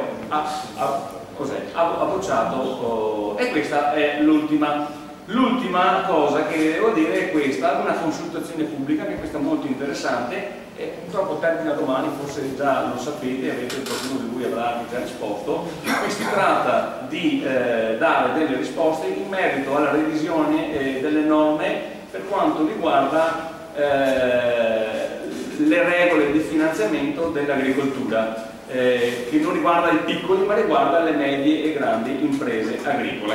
Ecco, questo è quanto. Quindi concludendo ci sono tre partite importantissime adesso da giocare in Parlamento.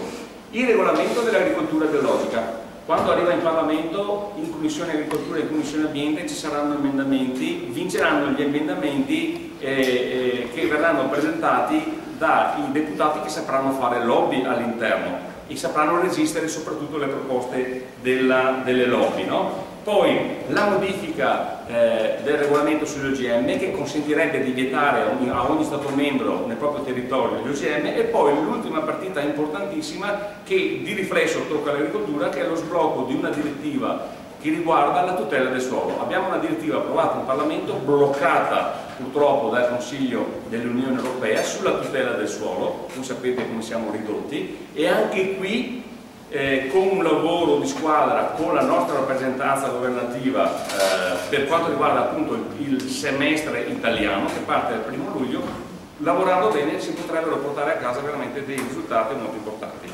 Grazie.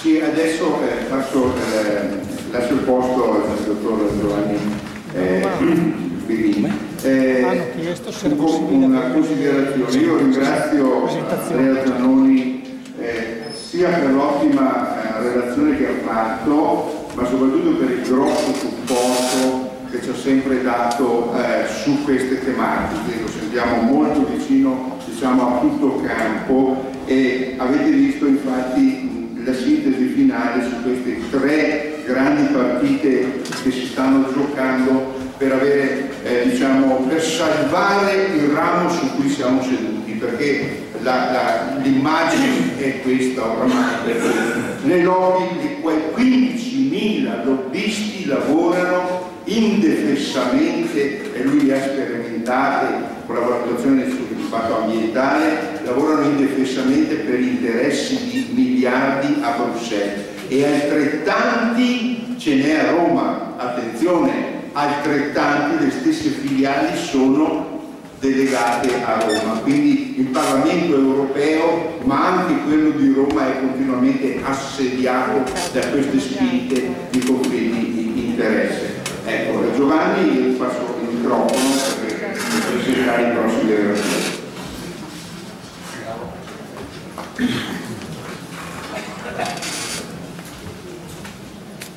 Ecco, allora continuiamo con la seconda parte più specificamente dedicata alla salute umana e ambientale e con la dottoressa Renata Alleva dell'Università di Bologna, nutrizionista dell'Università di Bologna. Nel frattempo ricordo che il congresso nazionale di ISDE che si svolgerà in ottobre eh, riprenderà praticamente tutte queste tematiche e saremo tutti, tutte queste tematiche saranno importanti in questo congresso e quelli che partecipano qua sono invitati a partecipare in questo convegno. Ecco qua la dottoressa. Grazie, buongiorno a tutti, approfitto un minuto veloce per ringraziare gli organizzatori, è un vero piacere essere qui perché sono particolarmente impegnata. Eh, ringrazio in particolar modo il professor Fabio Taffetani che ho conosciuto sempre nell'ambito di una, di una eh, manifestazione analoga e mi ha avuto il, io ho avuto il piacere di essere invitata personalmente da lui. Una piccola precisazione, io sono dell'Iris Rizzoli, non dell'Università di Bologna, ma sempre per, per dovere dell'istituto. Biochimica e quindi sono un ricercatore di Rizzoli e nella specializzazione in scienze dell'alimentazione è qualcosa che faccio eh, privatamente. Quindi condivido diciamo, quello che è eh, il, risultato della, della ricerca con la, eh, la pratica ambulatoriale. Eh, sì, inizio con questa slide, qualcuna è stata già anticipata dal professore, eh, per cui sarò veloce. Eh, ovviamente questi citi, ambiente e salute, e la salute riguarda tutti, tutti gli abitanti di questo ambiente che viene inquinato. Eh, sappiamo come è sensibile il discorso dei, eh, dei pesticidi per, per la voglia delle api e a questo punto come non possiamo immaginare che ci siano delle ripercussioni molto importanti per la salute dell'uomo. La salute che dipende appunto da una serie di fattori che sono eh, tanti e vediamo che sono fattori di inquinamento ambientale, vediamo che anche fattori genetici, quindi risposta individuale eh, legata anche al sistema immunitario e la dieta ha un ruolo importante.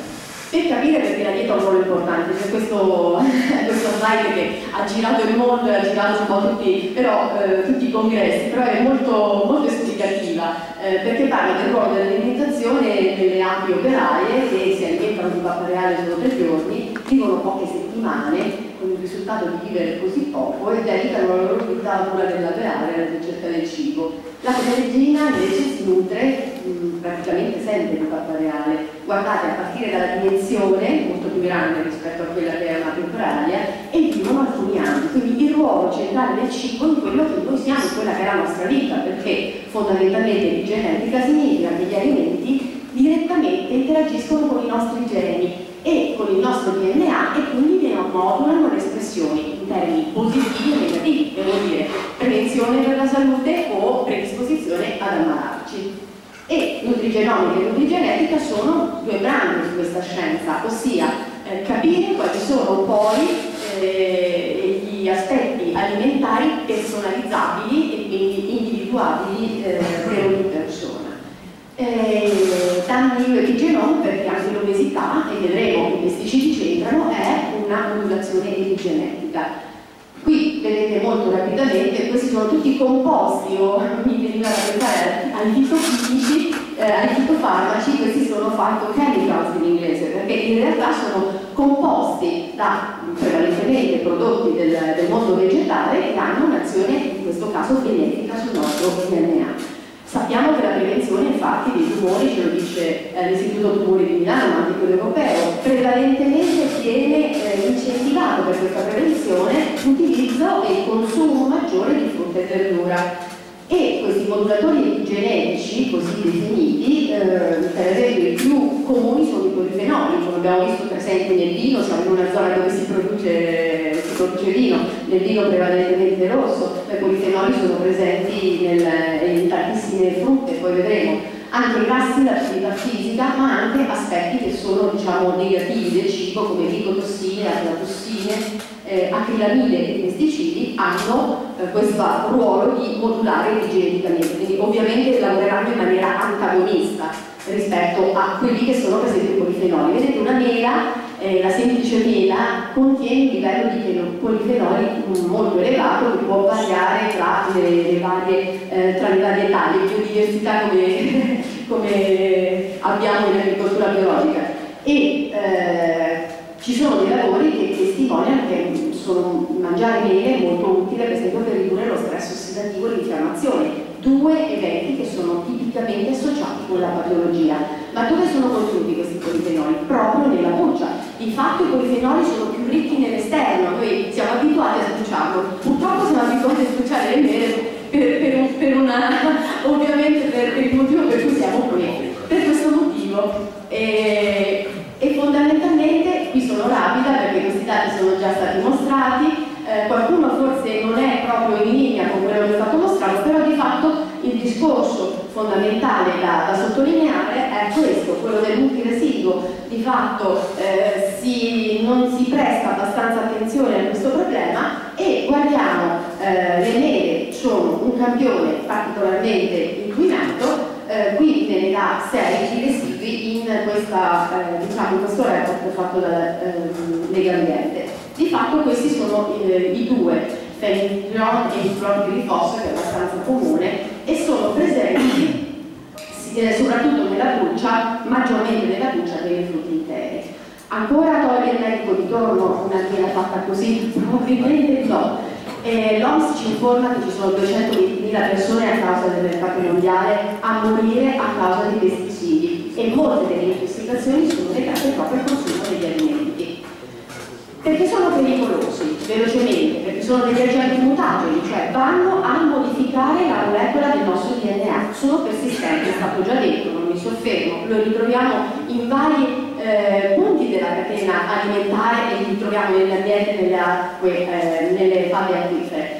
Relazione con patologie e del bambino, so che la relazione dopo di me parlerà proprio del bambino, per cui non mi soffermo, sono interferenti endocrini, è stato già anticipato, eh, hanno l'interazione dei multiresiduo e questa è un'altra cosa che è stata già detta, il bello è che non ne sappiamo assolutamente nulla in termini di salute. Eppure sappiamo che in vitro tutte queste sostanze che sono comunemente utilizzate hanno dato eh, dei risultati, dai danni all'apparato riproduttore, a mutazioni geniche in vitro e in vivo, scusate, sul modello animale, a mutazioni genetiche e guardate l'effetto accumulo, cioè se mangiamo tanta frutta e tanta verdura come sarebbe ed è consigliato fare, quando è convenzionale facciamo anche un carico di queste sostanze qui.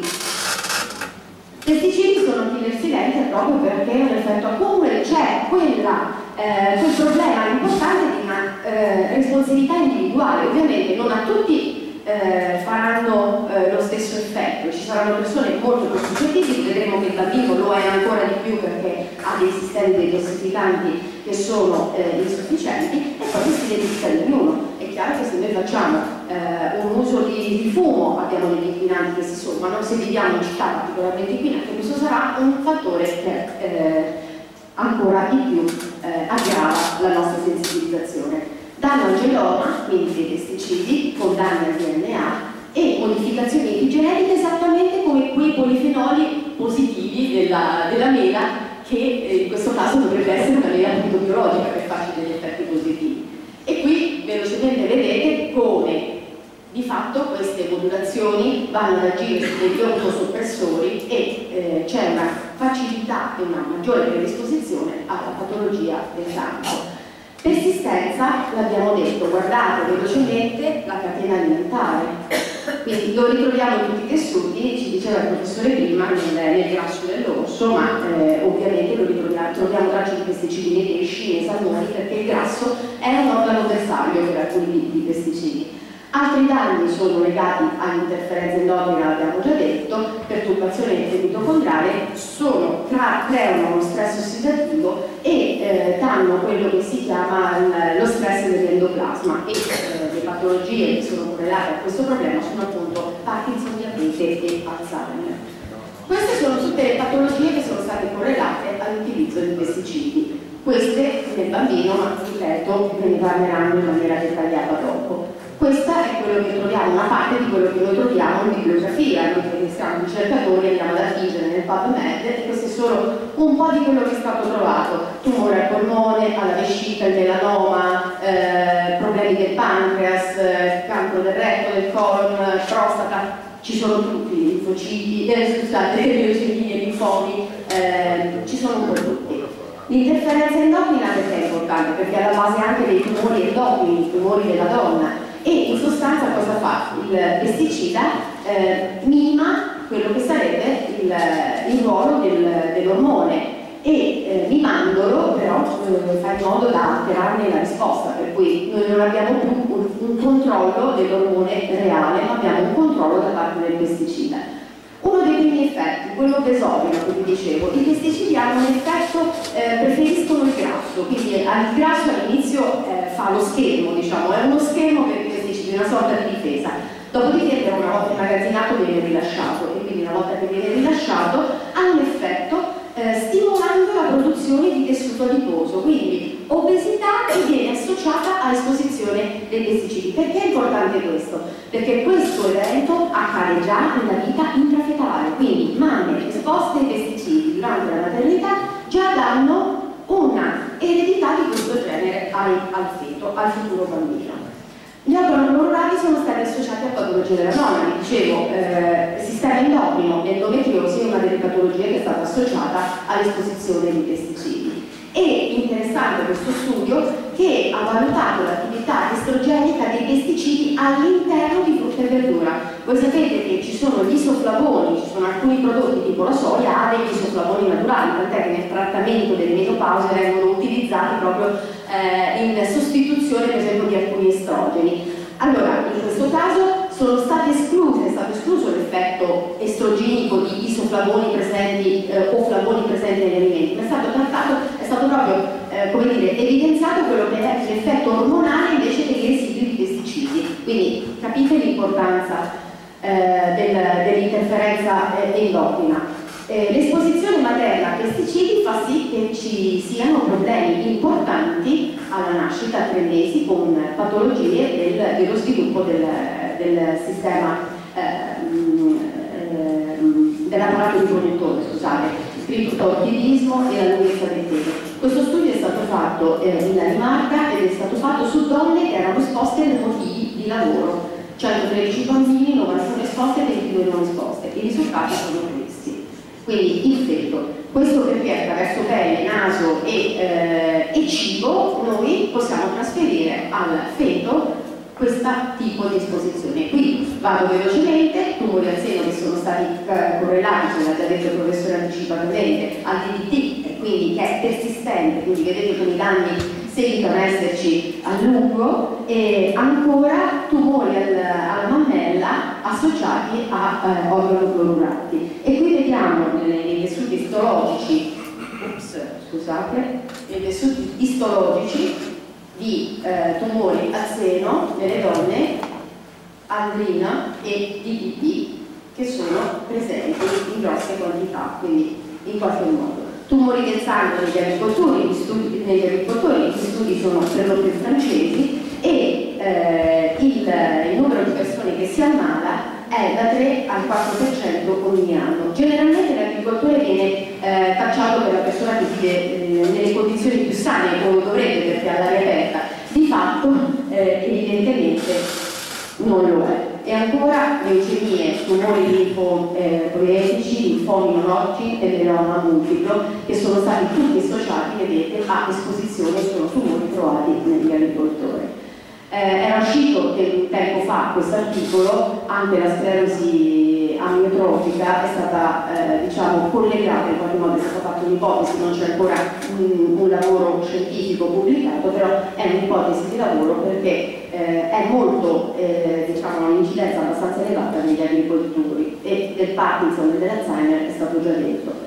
Eh, gli organofosfati in gravidanza, le donne esposte eh, lo trasmettono al feto e hanno problemi di aborti, abortività, sono diciamo eh, eventi e danni che si riscontrano anche nelle fumatrici, quindi esattamente lo stesso danno del fumo. E qui vediamo che nelle donne esposte la correlazione tra il cordone umbilicale e ehm, seno materno e il, i tessuti fetali eh, in sostanza c'è una linearità, quindi vuol dire che quando si è molto esposti eh, si trasmettono, eh, l'esposizione si trasmette al feto con i danni che sono eh, importanti proprio per quello che vi dicevo, per sistemi di detossificazione praticamente inefficienti in un organismo piccolo. Quale dovrebbe essere la risposta? La risposta ovviamente dovrebbe essere quella dell'agricoltura biologica sia per la salute dell'uomo e dell'ambiente, o direi prima, salute dell'ambiente e quindi conseguentemente dell'uomo.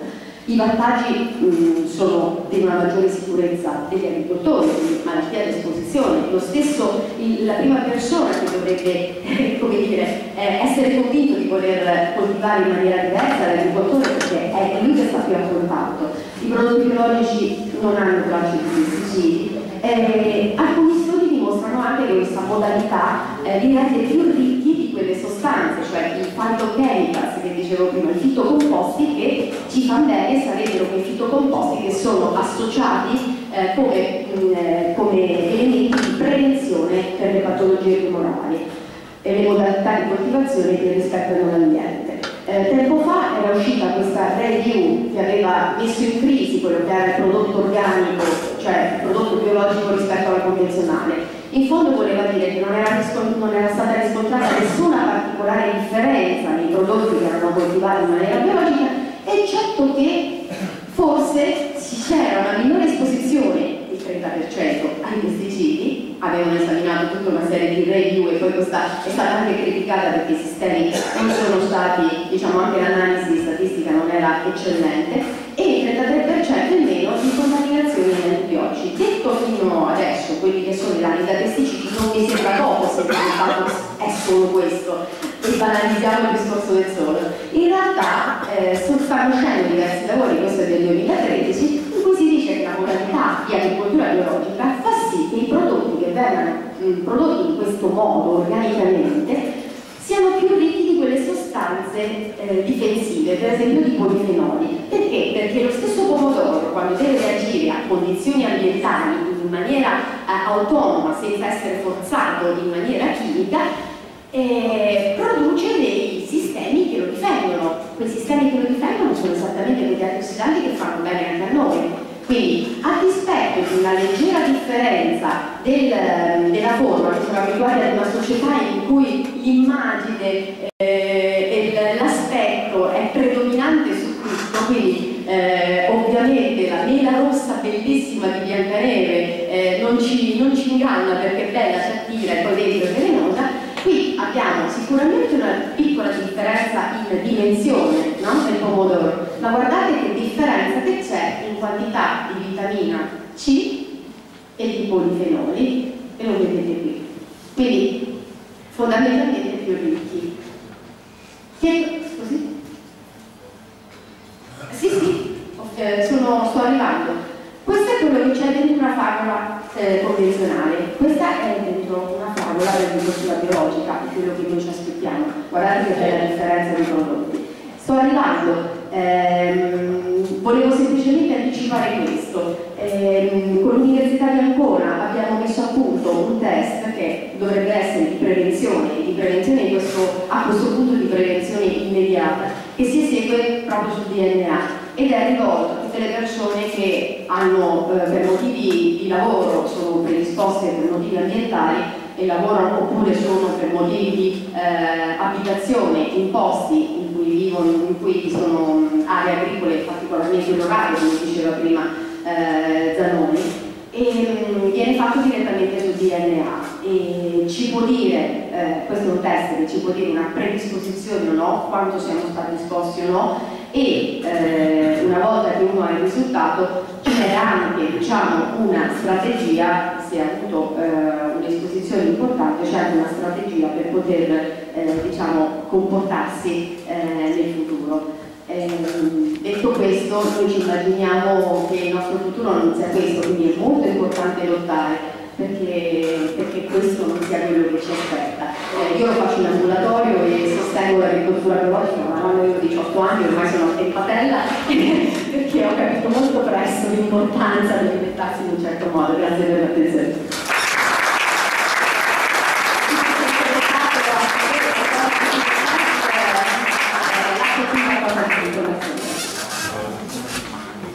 Grazie al dottoressa per l'interventazione.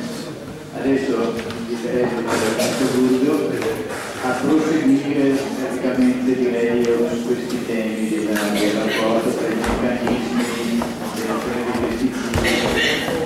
Ma tanto voglio solo fare un appunto che mi chiedevo ma come mai che a Verona abbiamo cominciato a fare questa senza nessuna presunzione di avere una dimensione nazionale, ma Verona vi voglio ricordare che è la città italiana dove si usano più pesticidi di tutti, grazie anche alla dove c'è un prodotto interno dovuto all'agricoltura molto elevato, ma il, la metà dei, dei, pesticidi consumati nel Veneto, che è la regione che ne consuma di più, è nella provincia di Verona, per cui dobbiamo impegnarci proprio se vogliamo morire eh, continuando così, è una cosa molto molto diversa. Do la parola al dottor Ernesto Burgo.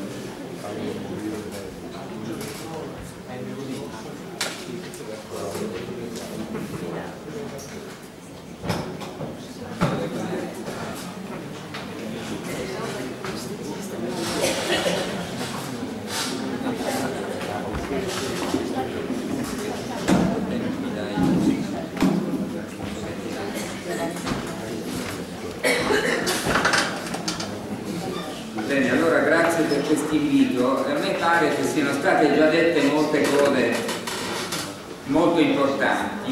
In particolare devo dire che l'ultima relazione ha veramente anticipato molto dei temi e per cui tutto sommato mi semplifica molto il compito. Io vorrei notare una cosa, quando noi parliamo di pesticidi dovremmo ricordare tutto sommato di mettere in parallelo l'uso dei pesticidi, degli insetticidi e paradossalmente degli antibiotici.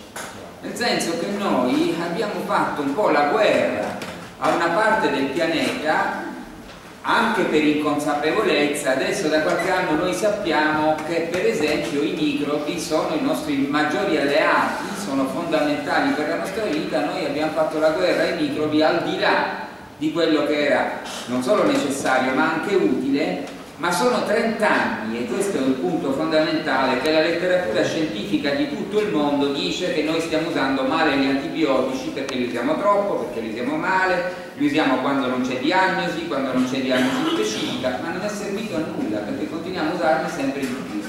Il risultato è, come per i pesticidi, che le, la selezione dei ceppi resistenti è diventata catastrofica, che sta tornando la tubercolosi multiresistente, che c'è una marea di gram negativi resistenti, che l'enterococco è diventato pluriresistente, eccetera. Questo è un problema, ma questo serve a far capire come sarebbe importante un'alleanza con i medici, perché noi medici siamo i primi che di queste cose diciamo abbiamo scarsa consapevolezza. Immaginiamoci degli effetti dei pesticidi che noi reputiamo assolutamente un'arma necessaria, utilissima, eccetera.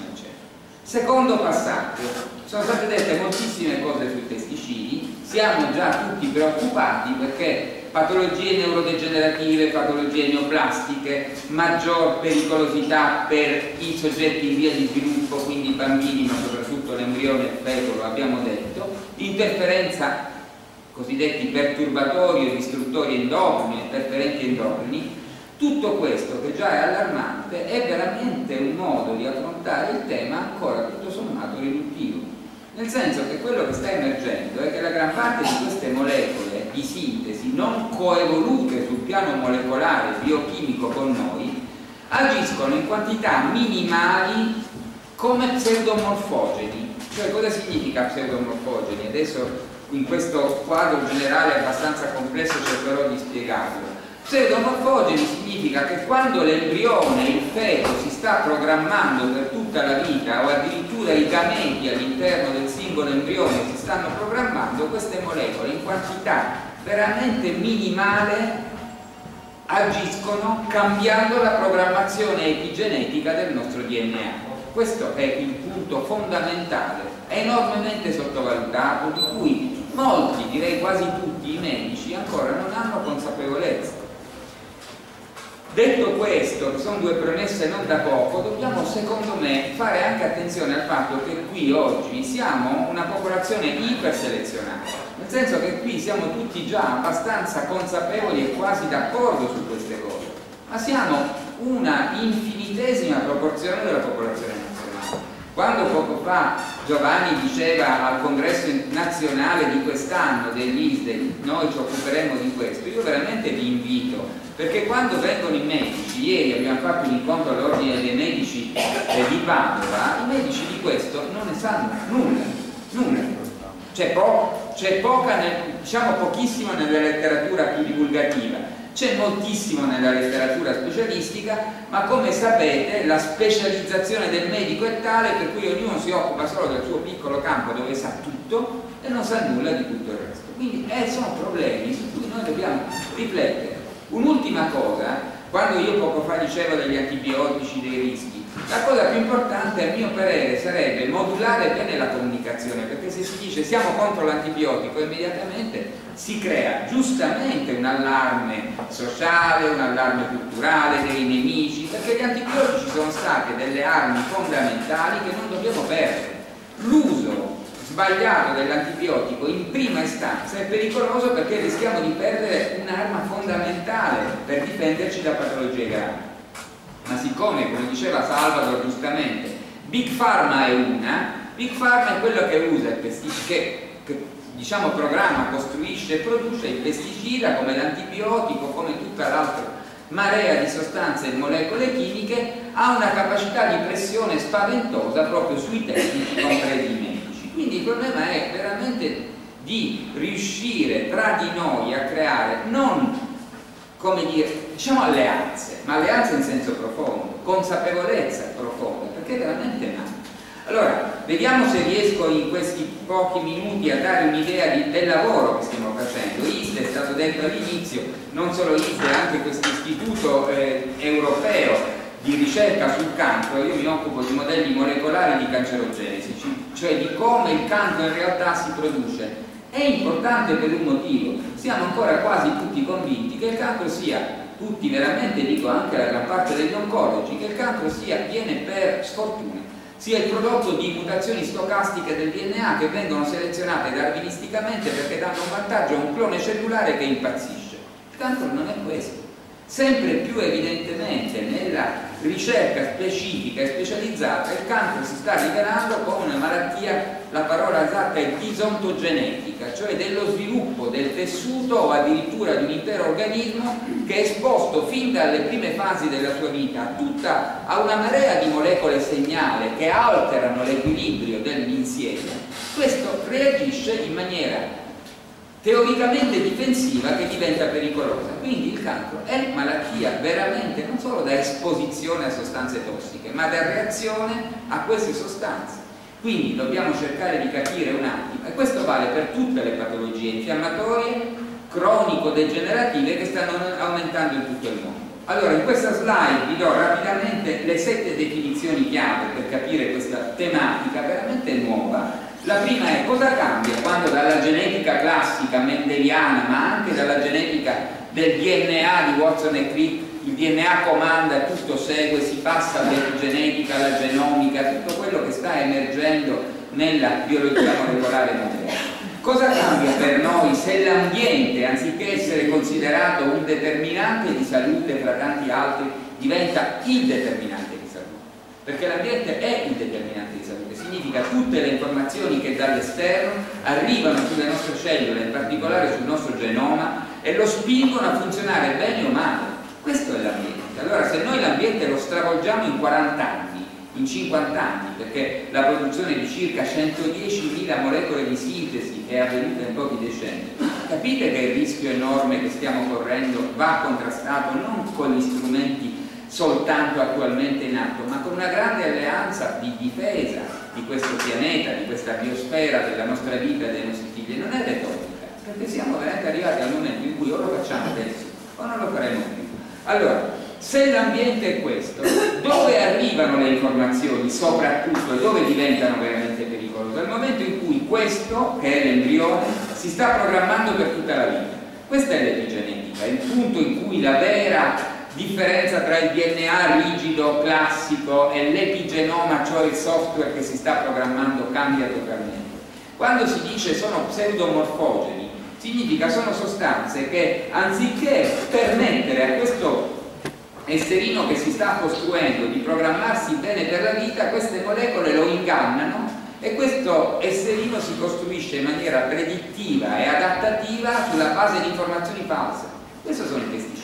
E questo noi non lo vediamo dopo due anni o dopo cinque anni, per cui la tossicologia attuale ci dà una piccola frazione dei rischi, l'epidemiologia attuale ci dà una piccolissima frazione del rischio, perché parla della popolazione esposta, spesso degli adulti, dei soggetti, mentre qui parliamo delle generazioni a venire. Allora il vero rischio è enormemente sottovalutato perché appunto lo dobbiamo valutare sul piano ontogenetico, cioè di formazione del feto, quindi del bambino e quindi dei figli dei nipoti, e sul piano filogenetico, perché è stato già detto che l'obesità è una patologia che è diventata pandemica, sapete che negli Stati Uniti una persona su tre è patologicamente obesa, patologicamente significa che rischia di fare tumori e altre patologie, diabete secondo, sindrome metabolica, eccetera, 7 americani su 10 sono sovrappeso gravemente, 7 su 10. Tanto che qualcuno ha parlato della prima trasformazione fenotipica di un'intera specie. Cioè il fenotipo di una specie sta cambiando su per le informazioni sbagliate che stiamo dando all'embrione, al feto della nostra, della, del, diciamo del genere umano. E l'ultima parola chiave è questa, transizione epidemiologica. Cosa significa? Significa che nel giro di 40 anni sono andate a scomparire speriamo che duri, la gran parte delle malattie infettive e parassitarie che hanno costellato la vita dei nostri padri, dei nostri sono aumentate enormemente tutte le malattie cronico-degenerative e neoplastiche al punto tale che alcune sono diventate epidemiche. Questo è il quadro generale sul quale dobbiamo lavorare. Cosa, perché tutto questo ha a che vedere con l'epigenetica, come è stato già detto? Perché se noi guardiamo un cromosoma, il cromosoma è formato da questo DNA iperavvolto attorno a delle proteine, il cromosoma lavora così, questo è il DNA che si apre per essere letto, trascritto, eccetera, noi pensavamo realmente fino a pochi anni fa che il DNA comandava e che il DNA era una volta per tutti, in ognuno di noi, quello che determinava la salute per tutta la vita. Non è così è sempre più chiaro, e questo lo dice Nature Biotechnology, cioè una delle maggiori riviste al mondo che si occupa di questo, il DNA è quasi uguale in tutti noi, quasi uguale, ma il suo software, la sua parte più diciamo dinamica cambia, è completamente diversa in ognuno di noi e cambia per tutta la vita sulla base delle informazioni che arrivano. La vecchia teoria del DNA che comanda, che non cambia, che rimane come programma genetico è falsa Il DNA è una base, un programma potenziale che in tutte le nostre cellule rimane più o meno uguale per tutta la vita, ma quello che il suo software cambia sulla base delle informazioni che gli arrivano. Io non so come l'onorevole Gianno che non sia diventato povero perché ha già preso tutte le forme tre volte. Allora, dicevo, come funziona il DNA? Come funziona il genoma? Il genoma, quello che è nelle nostre cellule, non è una piccola linea che rimane tale per tutta la vita, eccetera. È una sorta di ecosistema formato da centinaia, in realtà sono circa 25.000 geni, che sono collegati tra di loro. E questo articolo fondamentale diceva i geni hanno bisogno che qualcosa gli dica se aprirsi o se chiudersi, se lavorare o meno. E questo qualcosa sono le informazioni che vengono dall'esterno. Cos'è uno pseudomorfogeno o un interferente endocrino? È una molecola segnale che anziché dire a questo gene accenditi nel momento giusto, glielo dice nel momento sbagliato. Questo tutti i giorni della nostra vita, ma soprattutto nel momento in cui si sta sviluppando quell'esserino che avete visto che si sta programmando. Quindi l'epigenetica, questa nuova parola magica, è importante perché l'epigenetica è lo studio del modo in cui le informazioni che vengono dall'esterno lavorano dialetticamente con le informazioni contenute nel DNA e questa continua diciamo dialettica definisce il nostro fenotipo. Quindi il DNA lavora così. Arrivano le informazioni se arriva l'ormone bene. Se arriva l'interferente endocrino questo lavoro cambia completamente tutti i giorni della nostra vita. E per di più se anziché arrivare l'ormone arriva in questo caso l'interferente endocrino ma arriva anche per esempio il campo elettromagnetico X, e siamo tutti esposti come voi la sapete, se anziché arrivare un singolo interferente endocrino ne arrivano 5, 10 come è stato giustamente sottolineato, tutte queste dinamiche della cellula cambiano e cambiano continuamente. Allora, che cosa sta succedendo in un organismo che diciamo, è continuamente esposto a queste informazioni? Le cellule non lavorano più nel modo regolare in cui dovrebbero, ma soprattutto non sono le grandi dosi delle sostanze tossiche che normalmente vengono considerate, anche a livello normativo, ma perfino nella ricerca tossicologica classica. Sono le piccole dosi quotidiane quelle che spostano questi equilibri, le piccolissime dosi di piccole quantità di metalli pesanti, di particolato ultrafine, di pesticidi, eccetera. Allora il risultato qual è?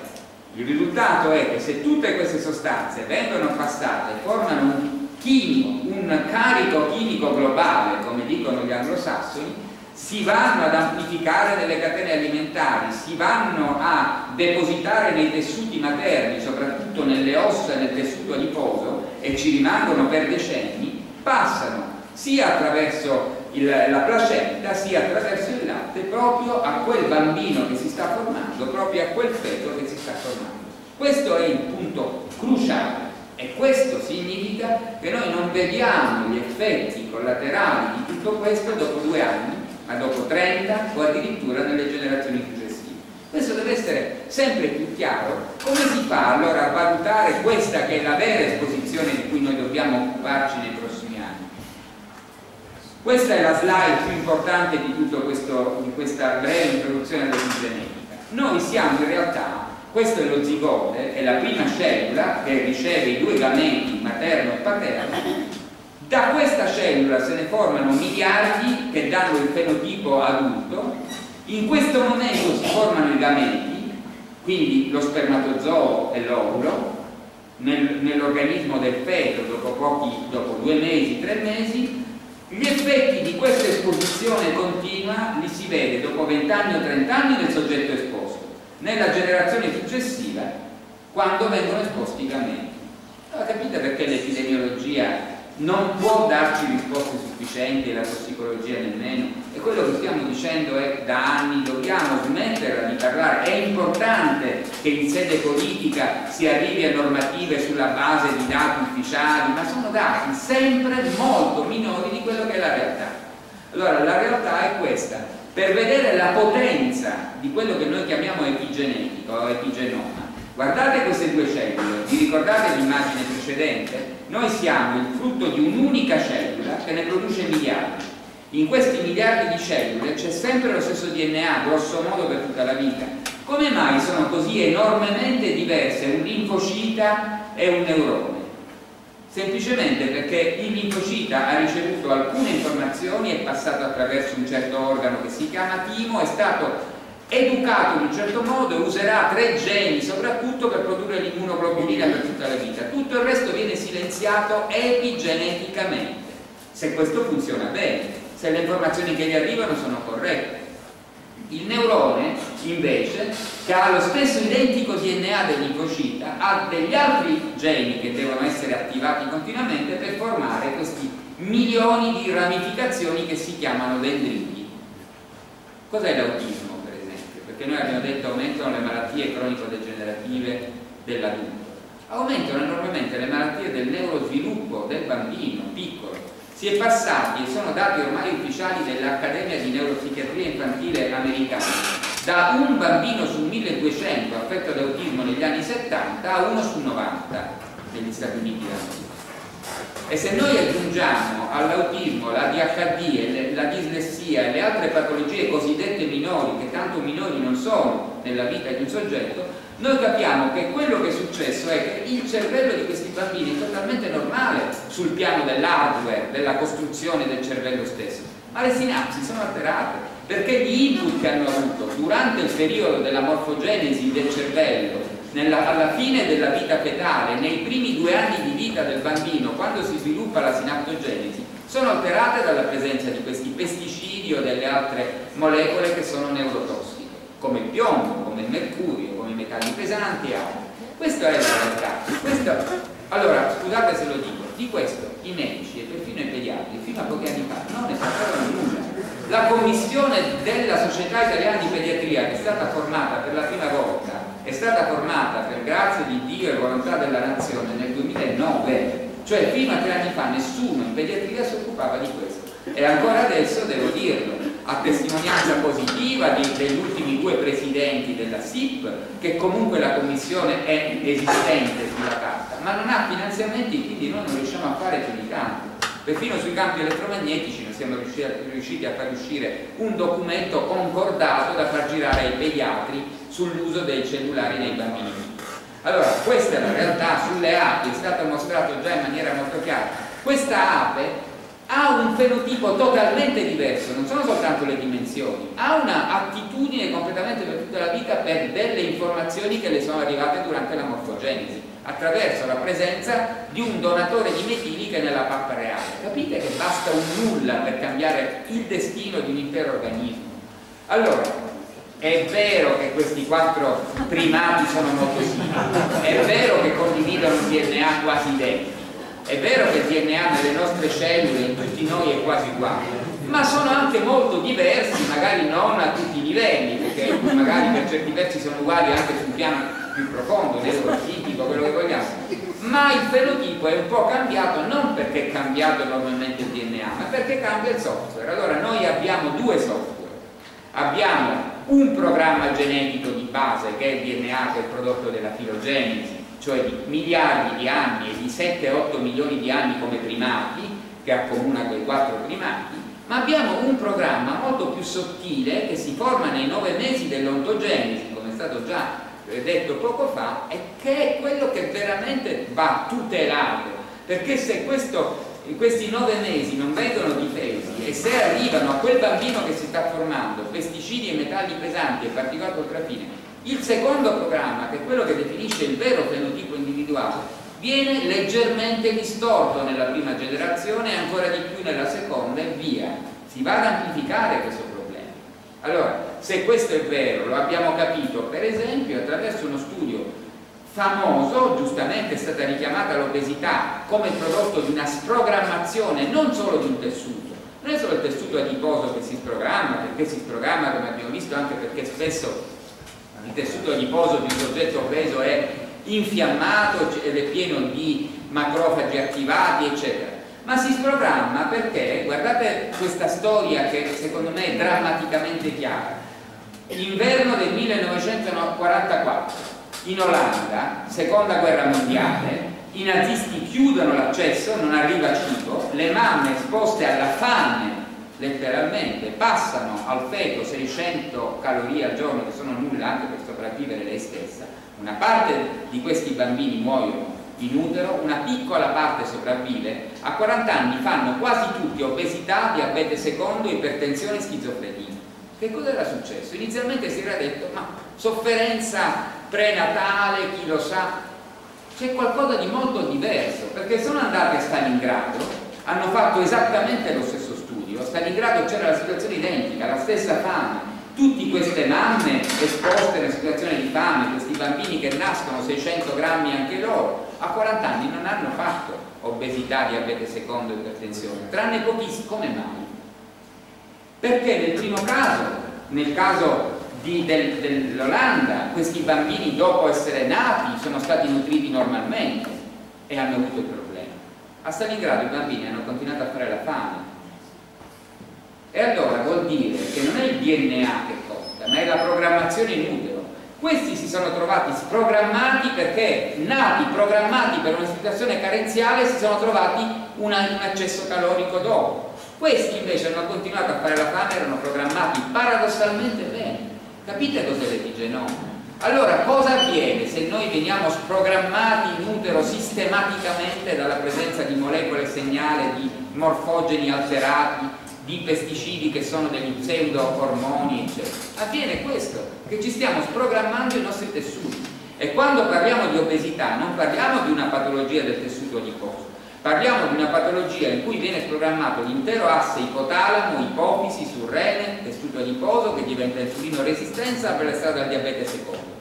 Il diabete secondo era una patologia dell'adulto, anzi dell'anziano si può dire negli anni 60, poi diventato dell'adulto, ora negli Stati Uniti è patologia dell'adolescente ed è una patologia che colpisce quasi 200 milioni di persone il diabete secondo Capite cosa sta succedendo? Allora, vogliamo finalmente fare in modo che si, ci si renda conto che sta avvenendo una vera e propria transizione epidemiologica. Sapete quante persone fanno un cancro in Europa?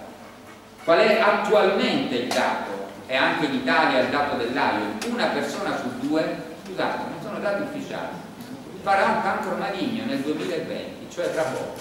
Una su due. Allora tutto questo non è normale perché se noi andiamo a vedere non è più l'anziano settantenne che fa il cancro, è il bambino.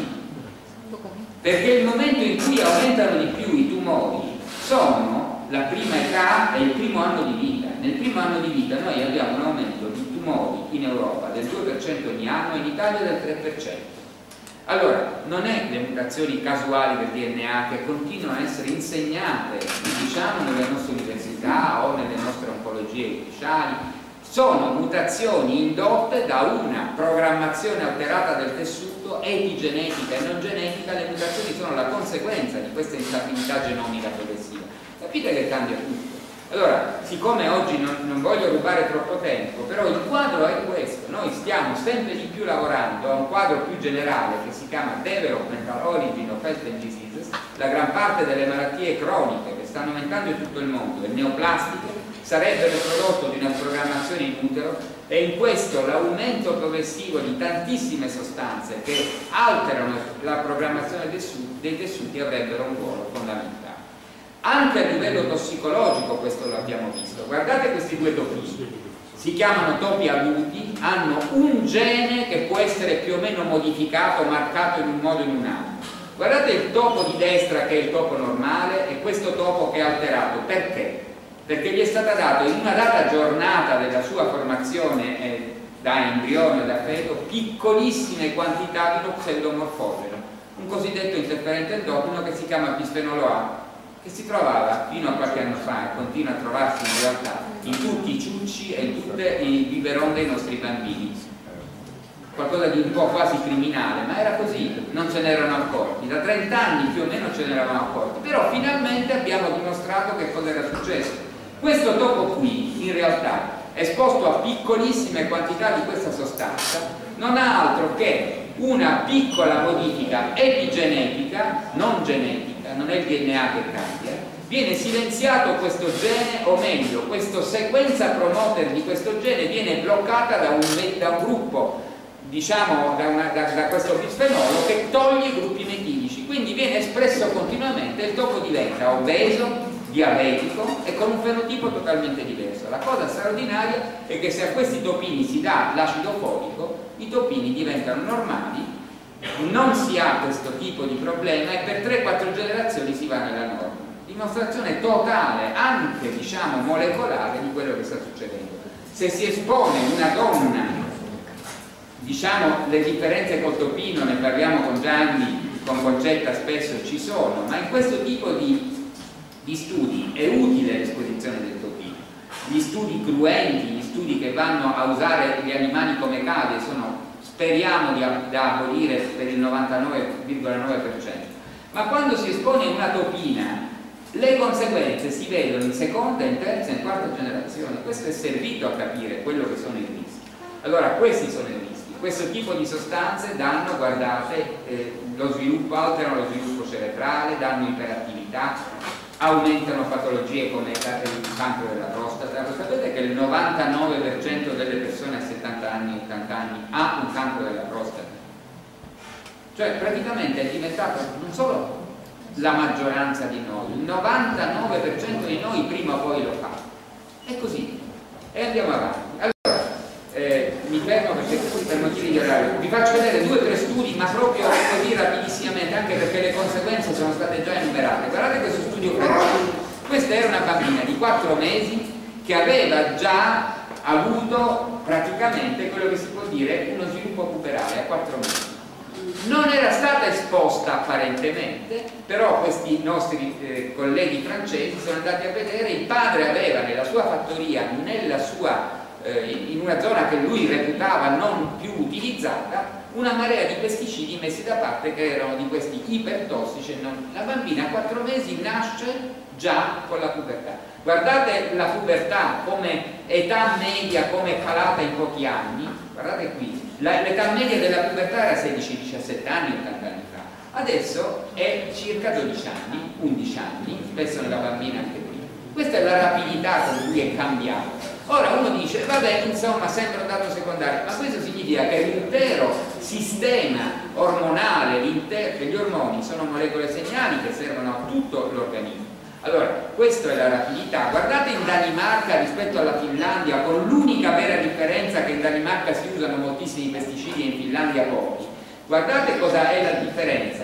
Alta incidenza di cancro testicolare, di seminoma spesso giovanile, alta incidenza di criptortilismo, alta incidenza di iposparie, bassa conta spermatica rispetto alla Finlandia. Lo hanno studiato, ma guardate i livelli lo hanno studiato a lungo, hanno, hanno, cercato di capire, poi sono andati a vedere, la vera differenza era nella quantità di pesticidi che sono stati utilizzati negli ultimi 30 anni tra la Danimarca e la Finlandia, cioè qui se ne usano pochissimi e qua moltissimi. Tutto questo l'ha fatta vedere già Gianni Camino, si vede già nell'uso nel, di queste sostanze nelle acque. Faccio vedere l'ultima e poi ci fermiamo.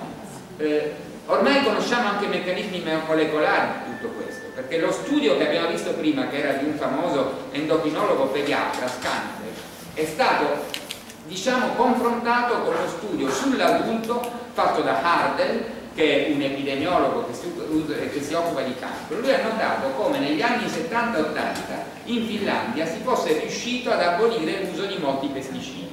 Guardate la differenza, la rapidità con cui tra Svezia e Finlandia sono diminuiti i linfomi nel, eh, tra 1970, 1990, 2003 e 2008. Allora, non, la risposta da parte di chi non voleva accettare questo semplice quadro è stato sì, ma non si sa quali sono i meccanismi molecolari. La risposta molecolare è arrivata ed è ancora sub iudice perché ancora quando si parla di meccanismi di cancerogenesi si rifiuta di vedere, per esempio in questo caso in una traslocazione, ora vi spiego meglio che cos'è, la traslocazione è questa, la traslocazione è quando due pezzi di cromosomi diversi vengono a essere esposti l'uno all'altro per cui un gene come questo che si chiama BCL2 che è un gene antiapoptotico, cioè un gene che blocca la morte cellulare, viene continuamente espresso. Perché viene continuamente espresso nei soggetti che sono lungamente esposti ai pesticidi? Perché questi vanno a bloccare, a creare questa traslocazione per cui questo gene viene esposto continuamente a questo che è l'enhancer di un'immunoglobulina, si crea una popolazione immortale di linfociti B, si apre la strada al cancro. La stessa identica situazione degli, degli esposti cronicamente ai pesticidi la si trova a Seltzer per la diossina due molecole totalmente diverse con la stessa traslocazione, molti dei soggetti fanno il linfoma e molti non lo fanno. Eppure si continua a dire che è un'aberrazione cromosomica casuale come tutte le mutazioni. Capite com'è difficile arrivare un po' a trovare finalmente un accordo anche a livello scientifico. Allora, e qui mi fermo, la cosa importante di fronte a tutto questo è che nei prossimi anni dovremmo veramente lavorare insieme, sostenere chi è lì dove si può, cioè, cioè lì dove si può normare, dove si può decidere, però dobbiamo sostenere anche chi fa ricerca in questo campo che ha estrema difficoltà perché la buona parte del nostro lavoro di ricerca non è ancora pubblicato, perché non è pubblicabile. Perché se noi lo mandiamo così come ve lo sto raccontando, non ce lo pubblicano. Perché anche nelle maggiori riviste al mondo ci sono i peer reviewers che dicono ah beh ma se voi dite che la traslocazione di cui stiamo parlando viene perché questi due pezzi di cromosoma vengono collegati per un motivo X questo è finalismo questo è pensare che il genoma funzioni in maniera diversa da come noi sappiamo questa è un'aberrazione cromosomica casuale punto e basta, non te lo pubblica questa è la realtà. Allora dobbiamo nei prossimi anni sempre di più spostare l'equilibrio della consapevolezza, della conoscenza del lavoro comune e fare in modo che tutto questo abbia la sua visibilità e allora io credo che quando medici, biologi, chimici, coltivatori, politici lavoreranno insieme forse qualcosa riusciremo a ottenere, altrimenti non credo che sia molto facile.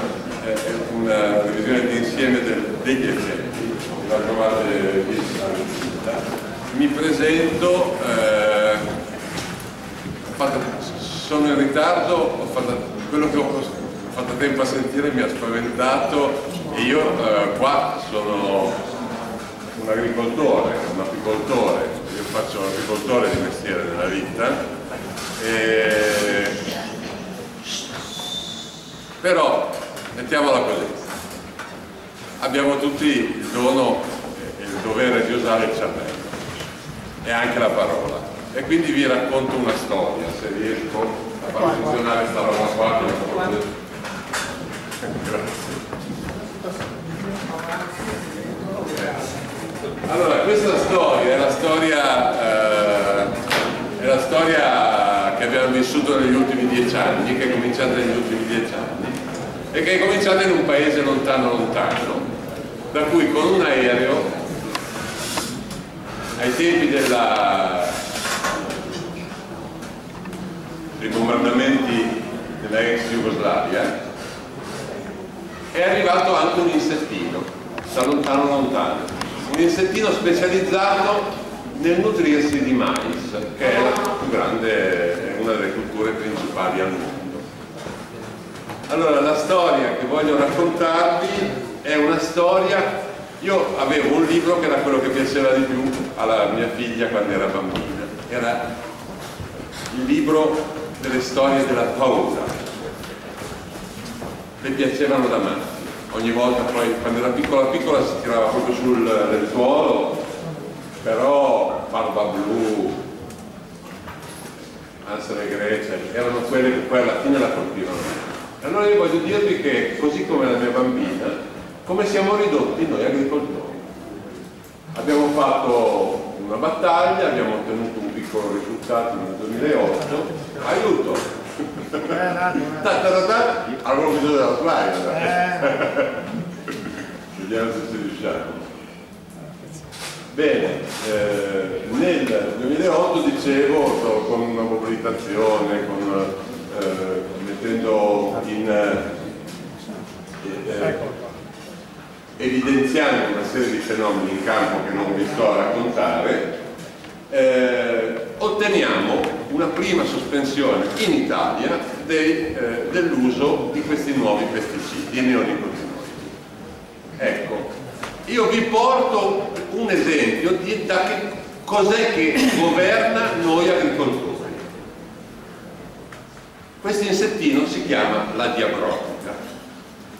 Questo è eh, uno dei più importanti eh, periodici in agricoltura e, eh, e questo è il segnale che ci viene dato e che ci viene dato da una parte della scienza. L'Università di Agraria di Milano, il, professor Maggiore, peraltro già in pensione, capeggia uno studio dove prevede eh, questo scenario per cui perderemo la produzione dei maiali, di tutte le eccellenze che sono legate al mare e addirittura l'Università di Milano organizza una visita guidata dei giornalisti ai campi di mais falcidiati e, atterrati dalla, dalla diabrotica. Questo è eh, quello che ci hanno raccontato a noi agricoltori. È arrivato l'insetto, bisogna ucciderlo, altrimenti va tutto a catafascio. Cosa è successo dopo? Perché tutte le storie, no? Cosa successo? Eh, eh, questo qui è un'altra. Cosa è successo? Eh, eh, giravano, eh, questo signore, questo Aldo Pollini è andato nelle assemblee dei maesticoltori, in, in una di queste assemblee mi hanno detto tu non entri perché tu non esci da questa sala. Mm? E c'era il signor Pollini, il, il dottor Pollini, che eh, diceva "Eh, c'è la causa, cioè, vi hanno tolto i concetti. Bene, la Confagricoltura cosa ci proponeva? Una riduzione del 40%, del 40% della, della- questi qua sono comunicati stampa eh, de- dell'epoca, del 2009, un danno di 700 milioni per l'economia nazionale. Questo era il quadro. Questi sono i dati veri degli anni successivi. Abbiamo avuto delle perdite nel 2009, grosso modo, del, perdite significative, cioè almeno del- eh, da 0 al 5% della produzione, su questa percentuale di ettari. Nel 2010 le perdite, questo c'è un servizio del, eh, del Ministero in, in- in relazione con tutte le regioni che fa il monitoraggio, questi dati ufficiali non si trovano. Eh, questi dati eh, sono dovuto andare a un convegno per poter fotografare la slide, perché nessuno li ha pubblicati all'epoca. Questo deve essere chiaro. Abbiamo avuto un, un danno da diabrotica dello 0,1%. E, eh, e questo mi serve per introdurre questo concetto che è un concetto eh, fondamentale. Cioè, se perché è successo? La diabrotica è una sfiga, è una sfiga nuova. Cioè, noi agricoltori quando vediamo un pericolo eh, siamo già lì traballanti perché ormai c'è una concezione dell'agricoltura che perde di vista eh, fatto che non è come produrre automobili, eh, lavastoviglie, o, eh, ma che è in- produrre cioè, oh, ragazzi, la parola cultura viene da qualche parte, viene dalla capacità di coltivare, dal latino, e quindi di fare i conti con la natura, con la sua complessità. Non è un procedimento meccanico. E eh, in questo insieme di fenomeni, eh, la impollinazione quando le piante hanno trovato il modo di, eh, di accoppiarsi, nonostante che siano legate al terreno, con un sistema eh, eccezionale, questa è, la stima, ma non di, di noi agricoltori, di uno dei più grandi enti eh, eh, di ricerca agricola al mondo, che ancora è quasi pubblico, che è l'INRA francese. Eh, noi dipendiamo da questo fenomeno come da mille altri. Ovviamente io sono affezionato a quello che, che vedo, però questa è, è la, è la cosa importante. E eh, sono importanti studiosi che addirittura collocano l'importanza delle specie dal punto di vista antropocentrico per noi uomini in questa misura, per cui addirittura le api sono più rilevanti per la nostra sopravvivenza, per il nostro cibo, degli stessi avicoli, e cioè stiamo parlando di qualcosa di importante. E eh, eh, questa situazione che ormai nel mondo, voi avete sentito, no? quando facciamo gli assaggi di miele la prima domanda che ci fanno è ma come stanno le api? No? Eh, è, è quasi diventato un ritornello perché c'è questa situazione, c'è questo allarme che gira, no? le api stanno sparendo. Ecco, eh, non è vero che le api stanno sparendo. Non è vero. Quello che sta sparendo nel mondo sono per esempio le zanzare. Eh, scusate, le zanzare no, le farfalle.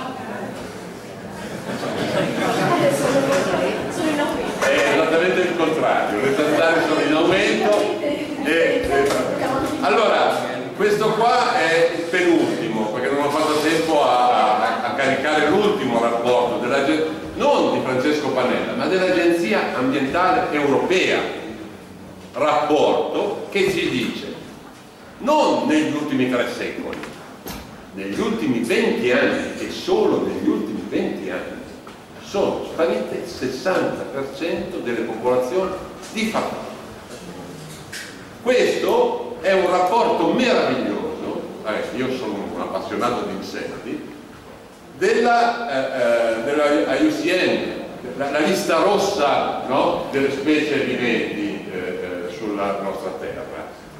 È bellissima, delle foto bellissime. E ci dice no, che insomma sono piccoli ma gli invertebrati in termini di biodiversità sono quelli che fanno la ciccia, no? Guardate, l'80% del vivente sono gli invertebrati. Noi siamo veramente una roba da fare alle quote, bisognerebbe fare per noi bipedi eh, umani e, mammiferi. Fra gli, gli invertebrati si evidenzia il loro rilievo. Adesso faccio una domanda, che faccio sempre perché un terreno sia fertile. Quanti lombrichi ci vogliono in un ettaro? Vediamo chi lo sa.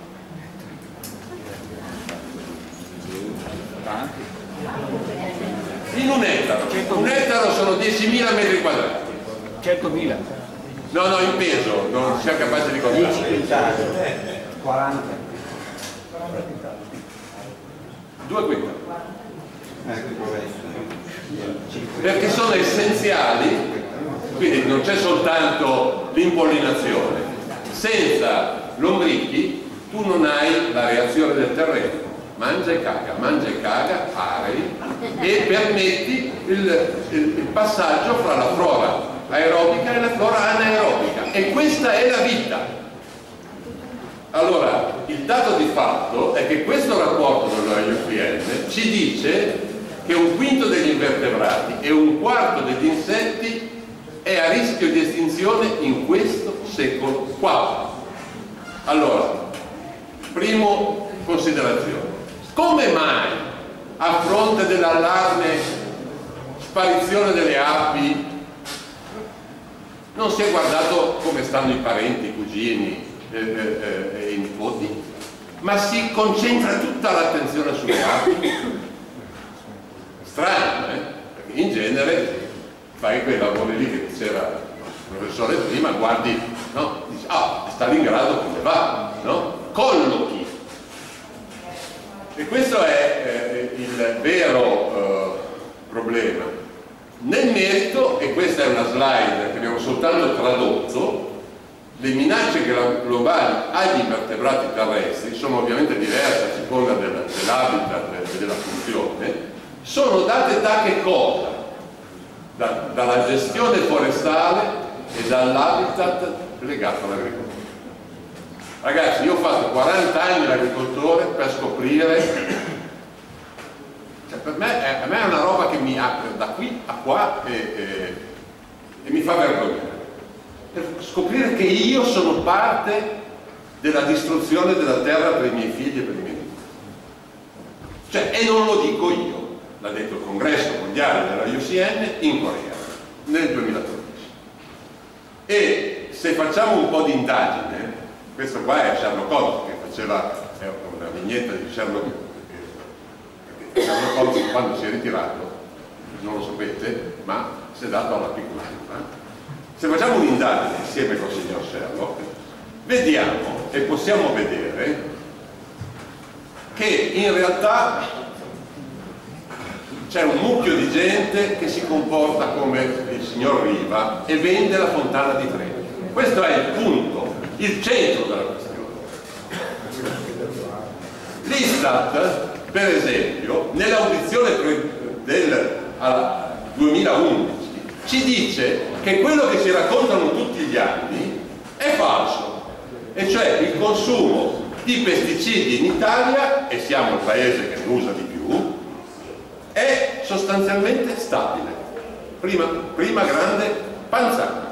E ogni primavera esce Agrofar, le confederazioni agricole, i manutengoli di un sistema che distrugge, che non crea, che ci dicono stiamo riducendo i pesticidi. E questa è la prima. Ma la, la cosa vera, la cosa vera è che tutto questo sistema è basato sulla paura e sulla cancellazione di tutto quello che l'umanità ha costruito nei secoli e nei millenni. E, e, eh, eh, eh, questo è il sistema che oggi domina la nostra agricoltura, per cui io a, a un certo punto ho detto, io volevo smetterla di fare rappresentante associativo, eccetera, ho detto no, io ho una dignità, non, non voglio finire sottoterra con la nomea di non essere un agricoltore e di non essere fiero. Questi non sono agricoltori. Questo sistema non è fare agricoltura ed è basato sulla monocultura in successione. E è semplice la ragione per cui nel 2007 e nel 2008 la- l'insettino di cui parlavasi ha comportato più danni che quando abbiamo tolto la medicina. Siamo riusciti a sospendere per un po' l'uso. Semplicemente con questo sistema noi alleviamo anno dopo anno, sempre nello stesso terreno, il parassita di quel terreno. La monocultura in successione è la mamma di tutti i disastri. La nuova PAC, ne avete parlato stamattina, non ha osato toccare questo che è il punto centrale per me di un'agricoltura che abbia la dignità di chiamarsi agricoltura. L'altro sono gli OGM e faccio notare a proposito degli OGM che da quando ci sono, e non ne parla nessuno, da quando ci sono questi benedetti OGM l'Argentina, che è uno dei paesi dove hanno preso piede in quella misura, da, da produrre il 7% del miele mondiale, loro sono quattro gatti, mangiano solo carne e, e, e, e il miele lo esportano tutto, hanno questa pampa che è una roba che se ci vai ti viene voglia di trasferirti, poi ti rendi conto che cosa vogliono dire gli OGM per noi apicoltori. Viaggi un quarto d'ora, viaggi mezz'ora in mezzo alla soia, in mezzo al mais, al girasole, ma non vedi una pianta di gramigna? E ci credo che gli OGM non permettono più alle api di produrre, perché sono la negazione del vivente lì esiste soltanto il parassita che si selezionerà dopo la, la, la, la sfiga che si selezionerà per far fuori quello che rende resistenza. Allora, questo eh, sistema si basa da un lato su, quel, su quelle tecniche di cultura, la monocultura di successione in tipo industriale, dall'altra parte sulla modificazione genetica e l'ultimo, tanta, grande e importante asse è questo che ce l'abbiamo in Europa, già penso gli OGM stiamo cercando e speriamo di tenerli lontani, che sono gli insetticidi sistemici. Sono i nuovi eccezionali strumenti che l'industria ha capito, l'industria chimica, per rispondere alla nostra preoccupazione. La nostra preoccupazione sono i pesticidi nel piatto? L'industria chimica ha capito come deve fare. Fa degli insetticidi che hanno una quantità, una qualità, un'efficacia e una persistenza eccezionali. Eccezionali. Un grammo di imidacloprid, un grammo, ha una potenza. Se io devo andare a ammazzare api, zanzare, questa sala, non importa, io ho un'alternativa per la mia pozza un grammo di midacloprid o 7,300 grammi 7 kg e 300 grammi dell'antico DDT la potenza tossica di questa roba è eccezionale. Hanno un'emività lunghissima sono persistenti eh, sono soltanto sensibili fotosensibili ma sì ovviamente danno luogo a dei metaboliti che a loro volta hanno gli effetti che ci ha Mamma mia, per la relazione di prima, per il poco che ho proposto, sono contento di essere arrivato. Questa è, e sono persistenti in un modo nuovo. Uno dice citotropico, sistema. Cosa vuol dire? Vuol dire che errori una pagina e per via Bellari arriva dall'altra parte colci il seme, vedete questi, sono semi di mais, gli metti intorno la polvere, quella che la, la, la caffaro di una volta. La pianta li assume e rimangono vivi dentro la pianta, la pianta diventa insetticida nella sua linfa, la morte nella linfa. Allora, questo è l'altro grande asse su cui si basa quel tipo di modello di uh, agrocriminale. Vi ricordate, provo devo stringere, ci provo, però è che mi appassiona. Eh, quando è venuta fuori la storia delle api che, che, che in crisi, bene, questo è il grafico delle api dal 1940 al, al, ai giorni nostri negli Stati Uniti d'America. Quella storia lì è venuta fuori a metà degli anni 2000, no? 2006, 2007, 2008. Bene signori, questo è il grafico dell'utilizzo di questi nuovi insetticidi negli Stati Uniti d'America 2005, 2006, 2007, 2008, 2009, 2010. Questo è il diametro XAR, questa è la quaternitina. Questi, voglio dire, sono dati che da soli parlano delle ragioni delle api. Le api sono il nostro canalino, ma ci fanno vedere anche il lombrico e il resto. E siamo arrivati a decisione, a, a, al fatto di riuscire a portare delle evidenze per quello che vi, vi ho portato a fare qua, perché è frutto di una ricerca di tre anni fatta in Italia, pubblica e interdisciplinare.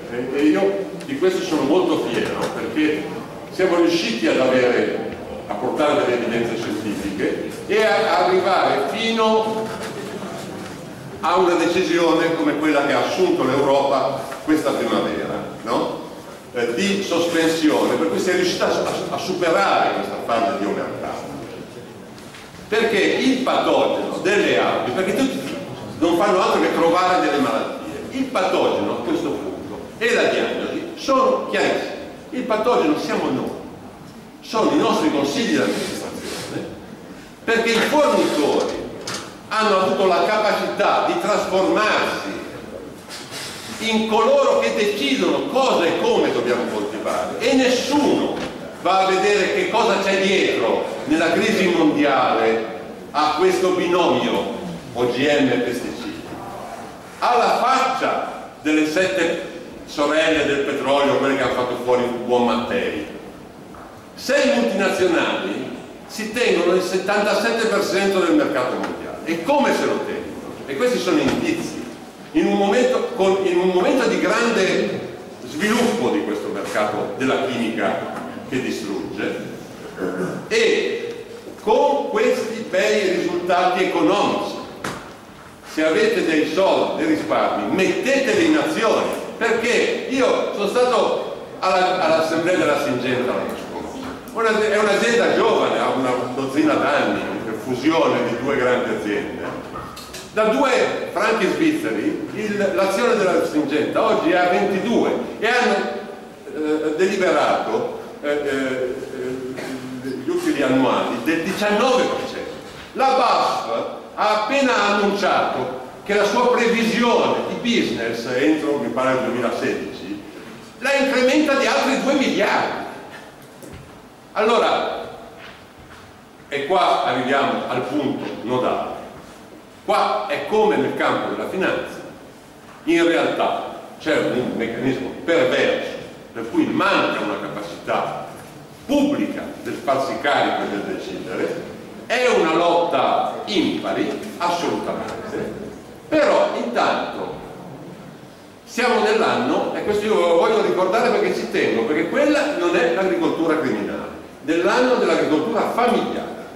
Questo è l'anno mondiale dove tutti dicono che l'agricoltura che sfama il mondo è questa qua e non quella di chi fa quel tipo di... Quindi io quello che voglio ricordare è che dobbiamo riappropriarci di quello che è la grande ricchezza dell'Europa, che è la cultura e che è la capacità di porre dei paletti e delle regole. Noi stiamo cercando di giocare in modo da non continuare a fare questa attività perché in questo modo, che non prosegue in questo modo perché è inaccettabile.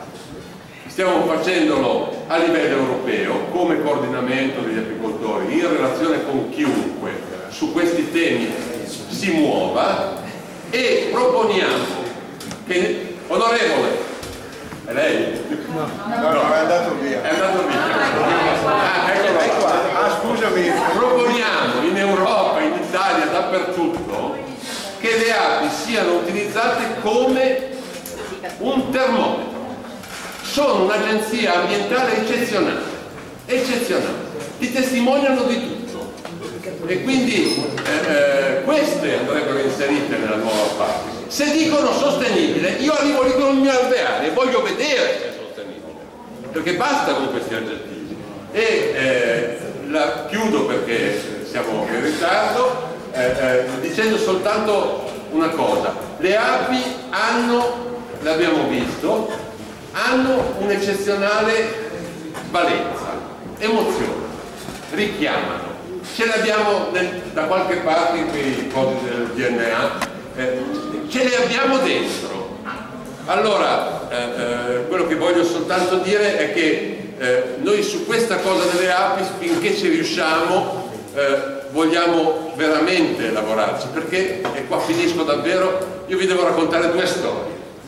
Una è quella di un mio amico che adesso è morto, una persona anziana, che il giorno dopo, sì, ho finito, il giorno dopo, che eh, l'anno dopo che mi ha sospesi, mi ha telefonato e piangeva e mi ha detto siamo scemi, non abbiamo memoria, sono come mia moglie, ha le rughe, era molto innamorato lui di sua moglie, no? Aveva ritrovato le sue api perché avevamo tolto i neonicotinoidi.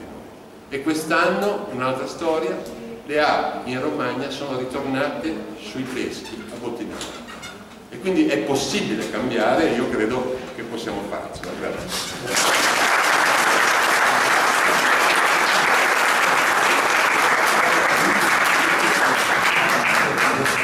molto interessante e l'ingegnere Veromesis che ci racconta qualche cosa dell'impatto sociale dei pesticidi in Valdino, il Comitato per la difesa della salute della Valdino. Buongiorno a tutti, grazie agli organizzatori, grazie ai precedenti relatori, in particolare a chi fa ricerca su queste cose perché la gente che vive nelle aree agricole intensive di cui oggi vi porto testimonianza vive male. Carico il, la slide perché... Beh, tanto avanti. Comunque, vi chiederete cosa ci fa un ingegnere a parlare di aspetti sociali. Perché vi aspetterete un, un sociologo. In realtà eh, la cosa è complicata perché ci sono voluti dei tecnici ci sono voluti sette anni di duro lavoro, la notte, perché siamo dei volontari, per capire che in aree agricole intensive, dove si fa l'agricoltura, di cui vediamo un po' di fondo adesso, di cui si è parlato oggi, si vive male e in maniera anche insicura.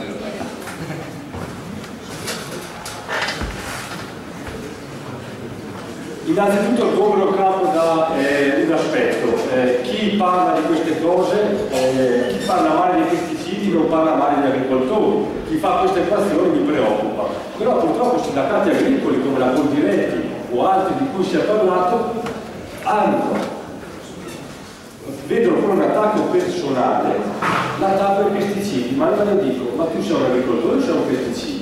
Attenzione, l'agricoltura produce cibo, il cibo è vita, è settore primario, senza cibo non cambiamo, senza computer, senza cellulare ce la facciamo. Quindi è un'attività importantissima, è giusto sostenerla, è giusto che ci sia la PAC e che la PAC assorba una buona percentuale di tutto il bilancio europeo, è anche giusto, ma forse non proprio troppo, che questi tempi ci siano agricoltori dalle parti che fatturano 100.000 euro all'anno e prendono 800 euro al mese di assegno familiare, perché è un reddito che non, che non appare sul fisco, eh? ma questo succede in tutta Italia, il reddito agricolo non è un reddito che viene tassato normalmente. Però dico, va bene, sosteniamo l'agricoltura, ma l'agricoltura deve sostenere chi la sostiene. Scusate il gioco di parole, e quindi deve dare due cose, uno, cibo pulito, Due, avere rispetto di chi abita nei territori dove si fa agricoltura. Ecco l'agricoltura, tre problemi, dell'agricoltura moderna, pre-industriale, intensiva. Ambientale se ne è parlato, salute pubblica se ne è parlato, qualità della vita se ne è parlato. E adesso entra il campo dell'ingegnere, nel senso che eh, questa è un'area agricola intensiva. Eh, io vi ricordo la testimonianza di una zona famosa, la Valle di Non, quasi 8.000 ettari di eh, meleti intensivi, su 51.000 ettari di territorio e dentro questo territorio ci abitano circa 40.000 abitanti. Però attenzione, eh, in tutte le aree agricole intensive eh, la, la, la, cosa è la stessa, anche dove, dove c'è il vigneto intensivo valgono le cose che vi oggi, magari in maniera meno intensiva, però comunque pesante. Il problema, oltre che il paesaggio, è anche ci sono più chili di cemento armato e ferro eh, qua, che legno, misurati eh, è il problema dei eh, fitofarmaci e del modo con cui vengono distribuiti. Purtroppo non c'è l'audio, però qua c'è un rumore pazzesco. Chi abita in questa casa non, non vive sicuramente bene e quel giorno lì, ma anche il 2 e 3, e se lì dessero i colpiti fossi 40 giorni successivi, sono a rischio. Analogamente qua.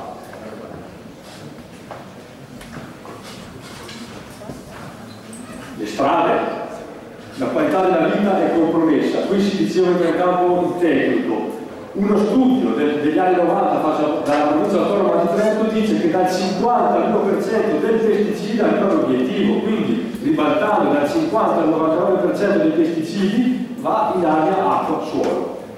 Addirittura a 50 metri dall'autorizzatore il 45% dei principi attivi a 50 metri dall'autorizzatore supera la soglia di sicurezza ADI, a Setable Daily Intake, che la quantità giornaliera di pesticida che teoricamente potrei eh, sopportare. Altra situazione, sempre lo studio dice che a 100 metri dall'autorizzatore l'assenza di vento sono le situazioni di rischio medio. medio.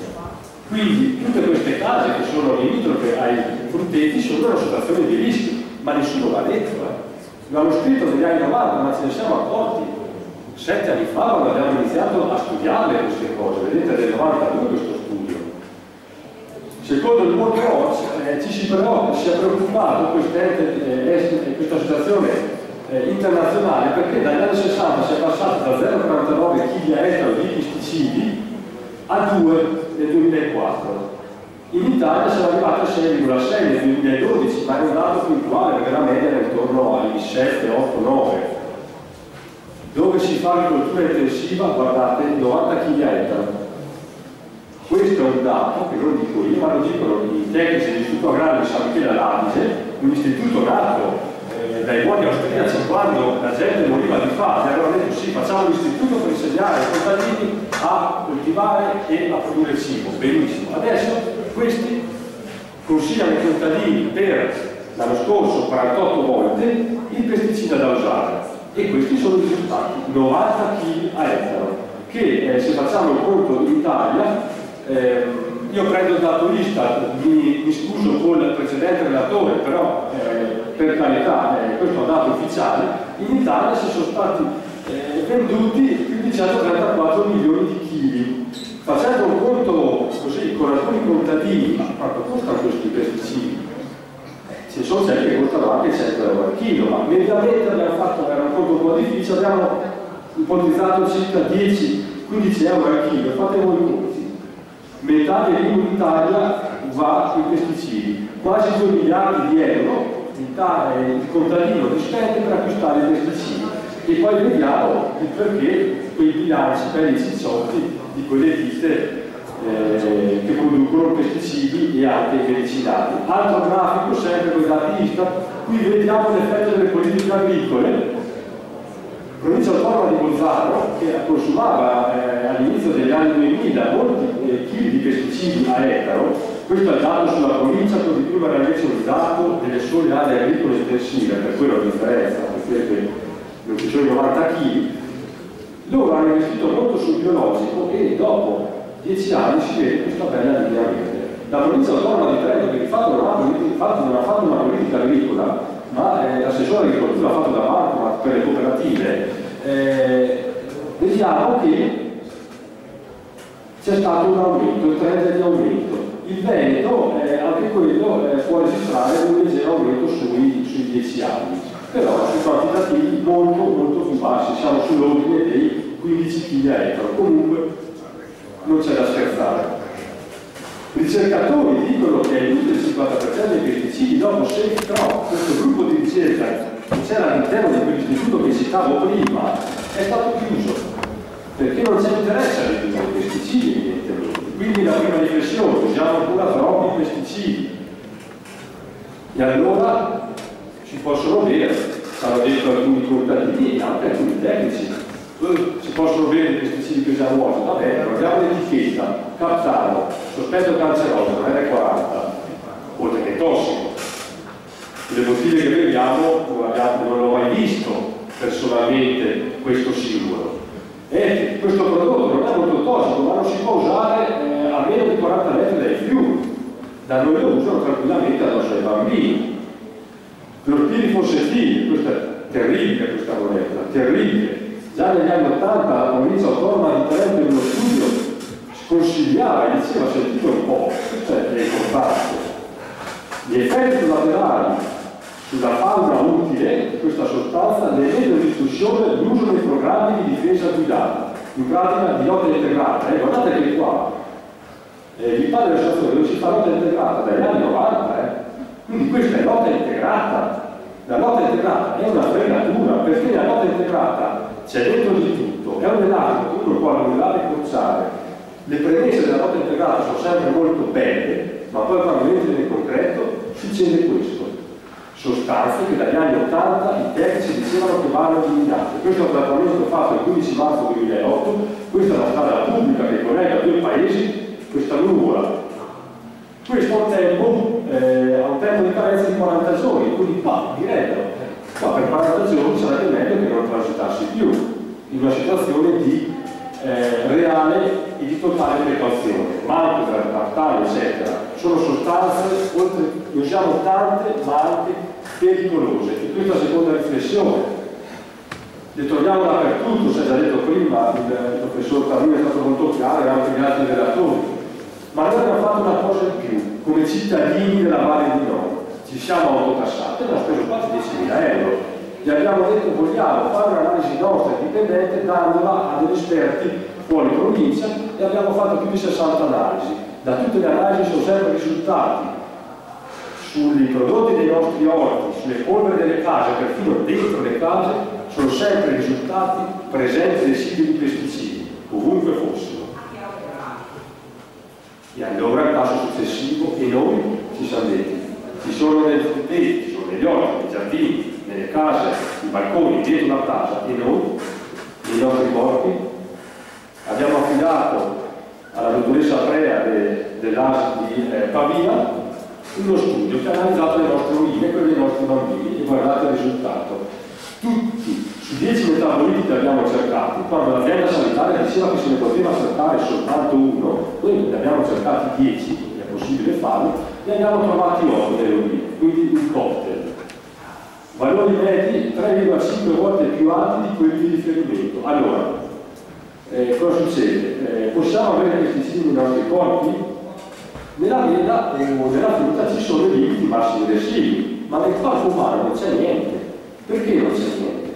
Perché secondo alcuni famosi epidemiologi mondiali, come il professor Margregani, che ha scritto che i clorpiri fossettivi, pubblicando su The Lancet nel 2006, ha scritto che i clorpiri fossettivi a cui le donne in gravidanza sono esposte faceva nascere dei bambini con un diametro del cervello più piccolo, confermando quanto ha detto molto chiaramente il, il dottor Burzo. Allora gli Stati Uniti lo hanno abolito. Ecco, allora io ho chiesto al professor Margregani, che ho voluto incontrare di persona, gli ho chiesto con questa analisi ma eh, professore, qual è il limite che possiamo accettare in un bambino del eh, TCP, che è il metabolita del clorfili fossetino?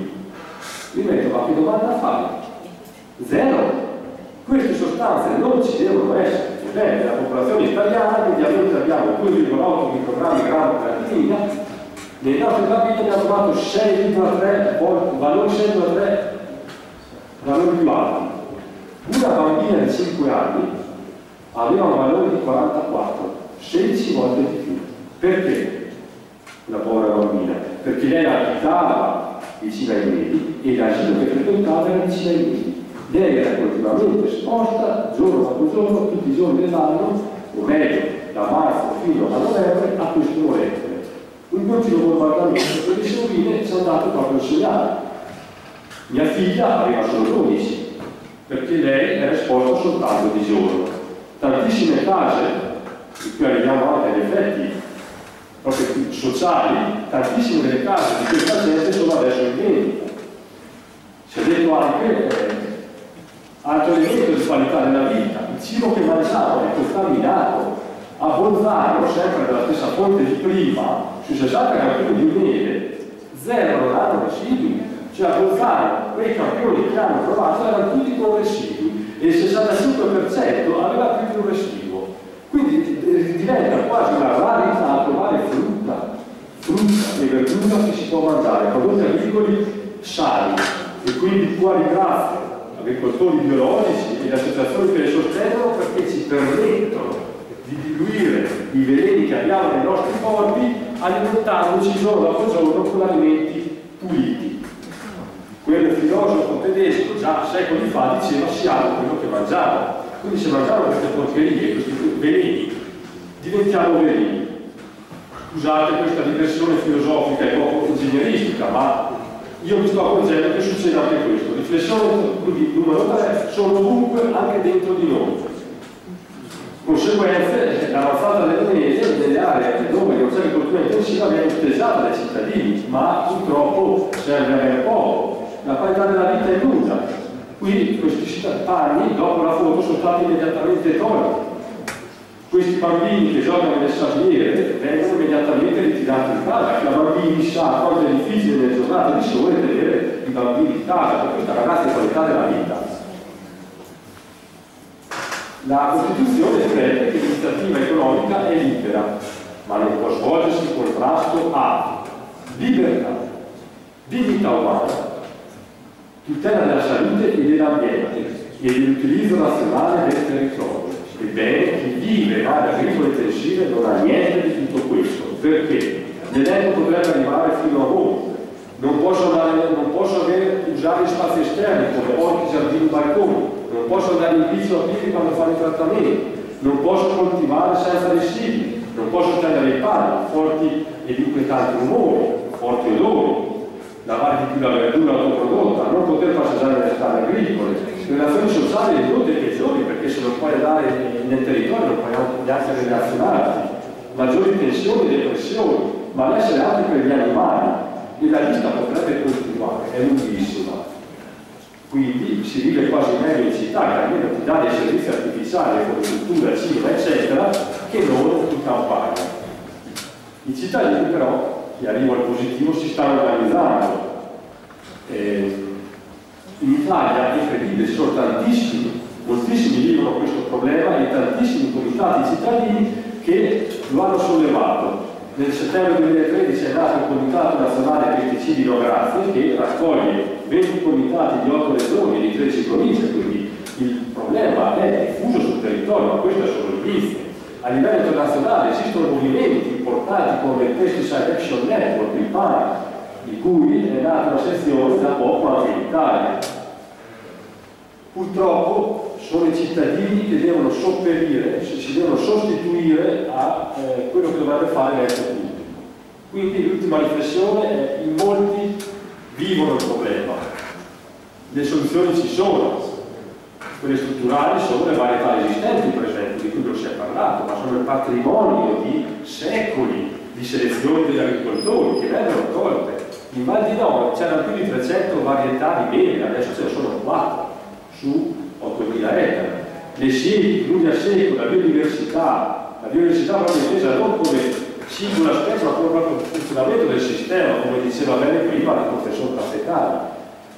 Un'agricoltura pulita, biologica, biodinamica, naturale, la lotta integrata è superata. Dal primo gennaio di quest'anno è obbligatoria in Italia, ma è già superata, quindi ci dovremmo un po' muovere per mettere dei paletti su questa lotta integrata, per far togliere almeno quelle molecole più pericolose. Quello parla dell'avanzamento dell'agricoltura intensiva, perché poi è difficile tornare indietro. Quando un bel prato diventa un frutteto intensivo, che di fatto è come un capannone, è difficile tornare indietro.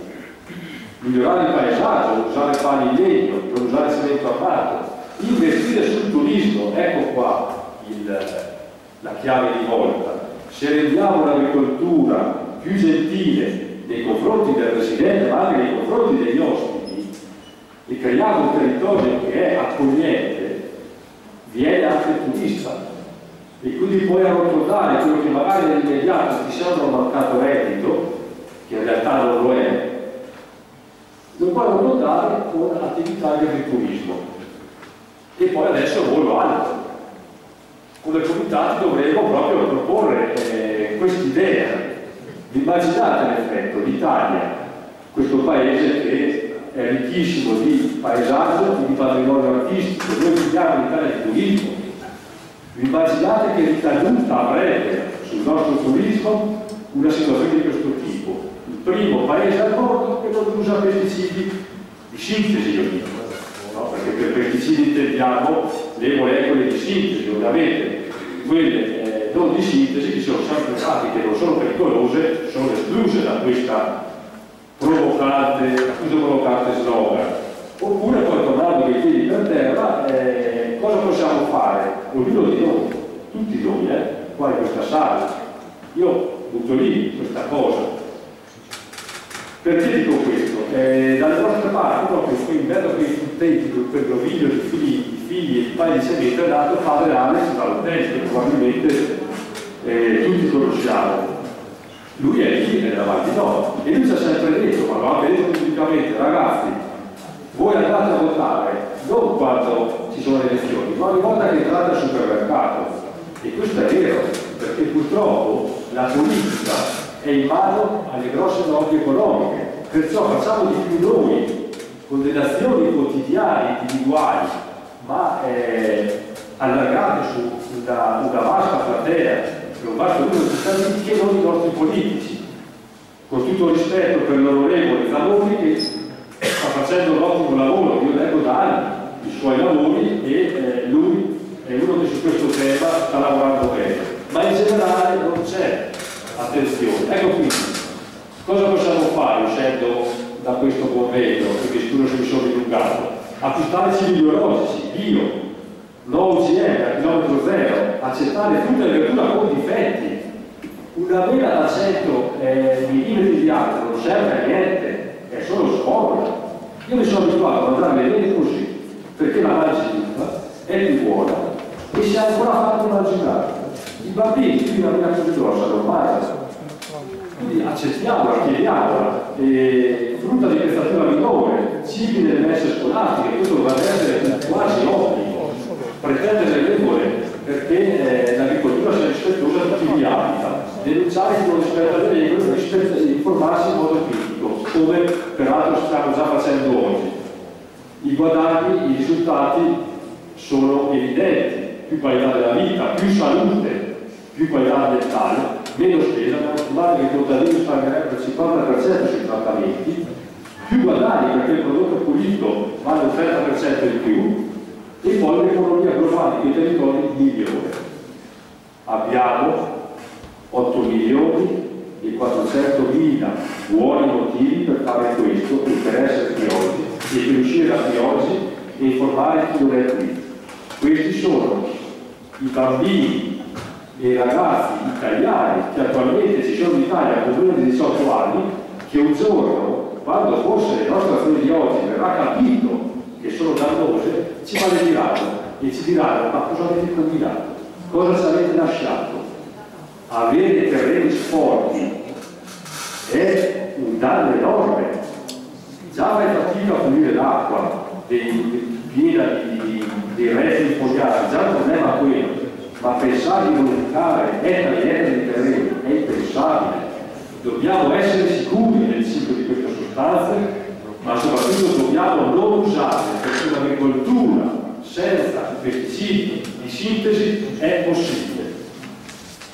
Quindi risparmiamoli, naturalmente abbiamo la stessa, risparmiamoli di entrare così fra qualche anno nei frutteti, nei veleti intensivi, ma assicuriamoli un qualcosa di meglio. Grazie per l'attenzione.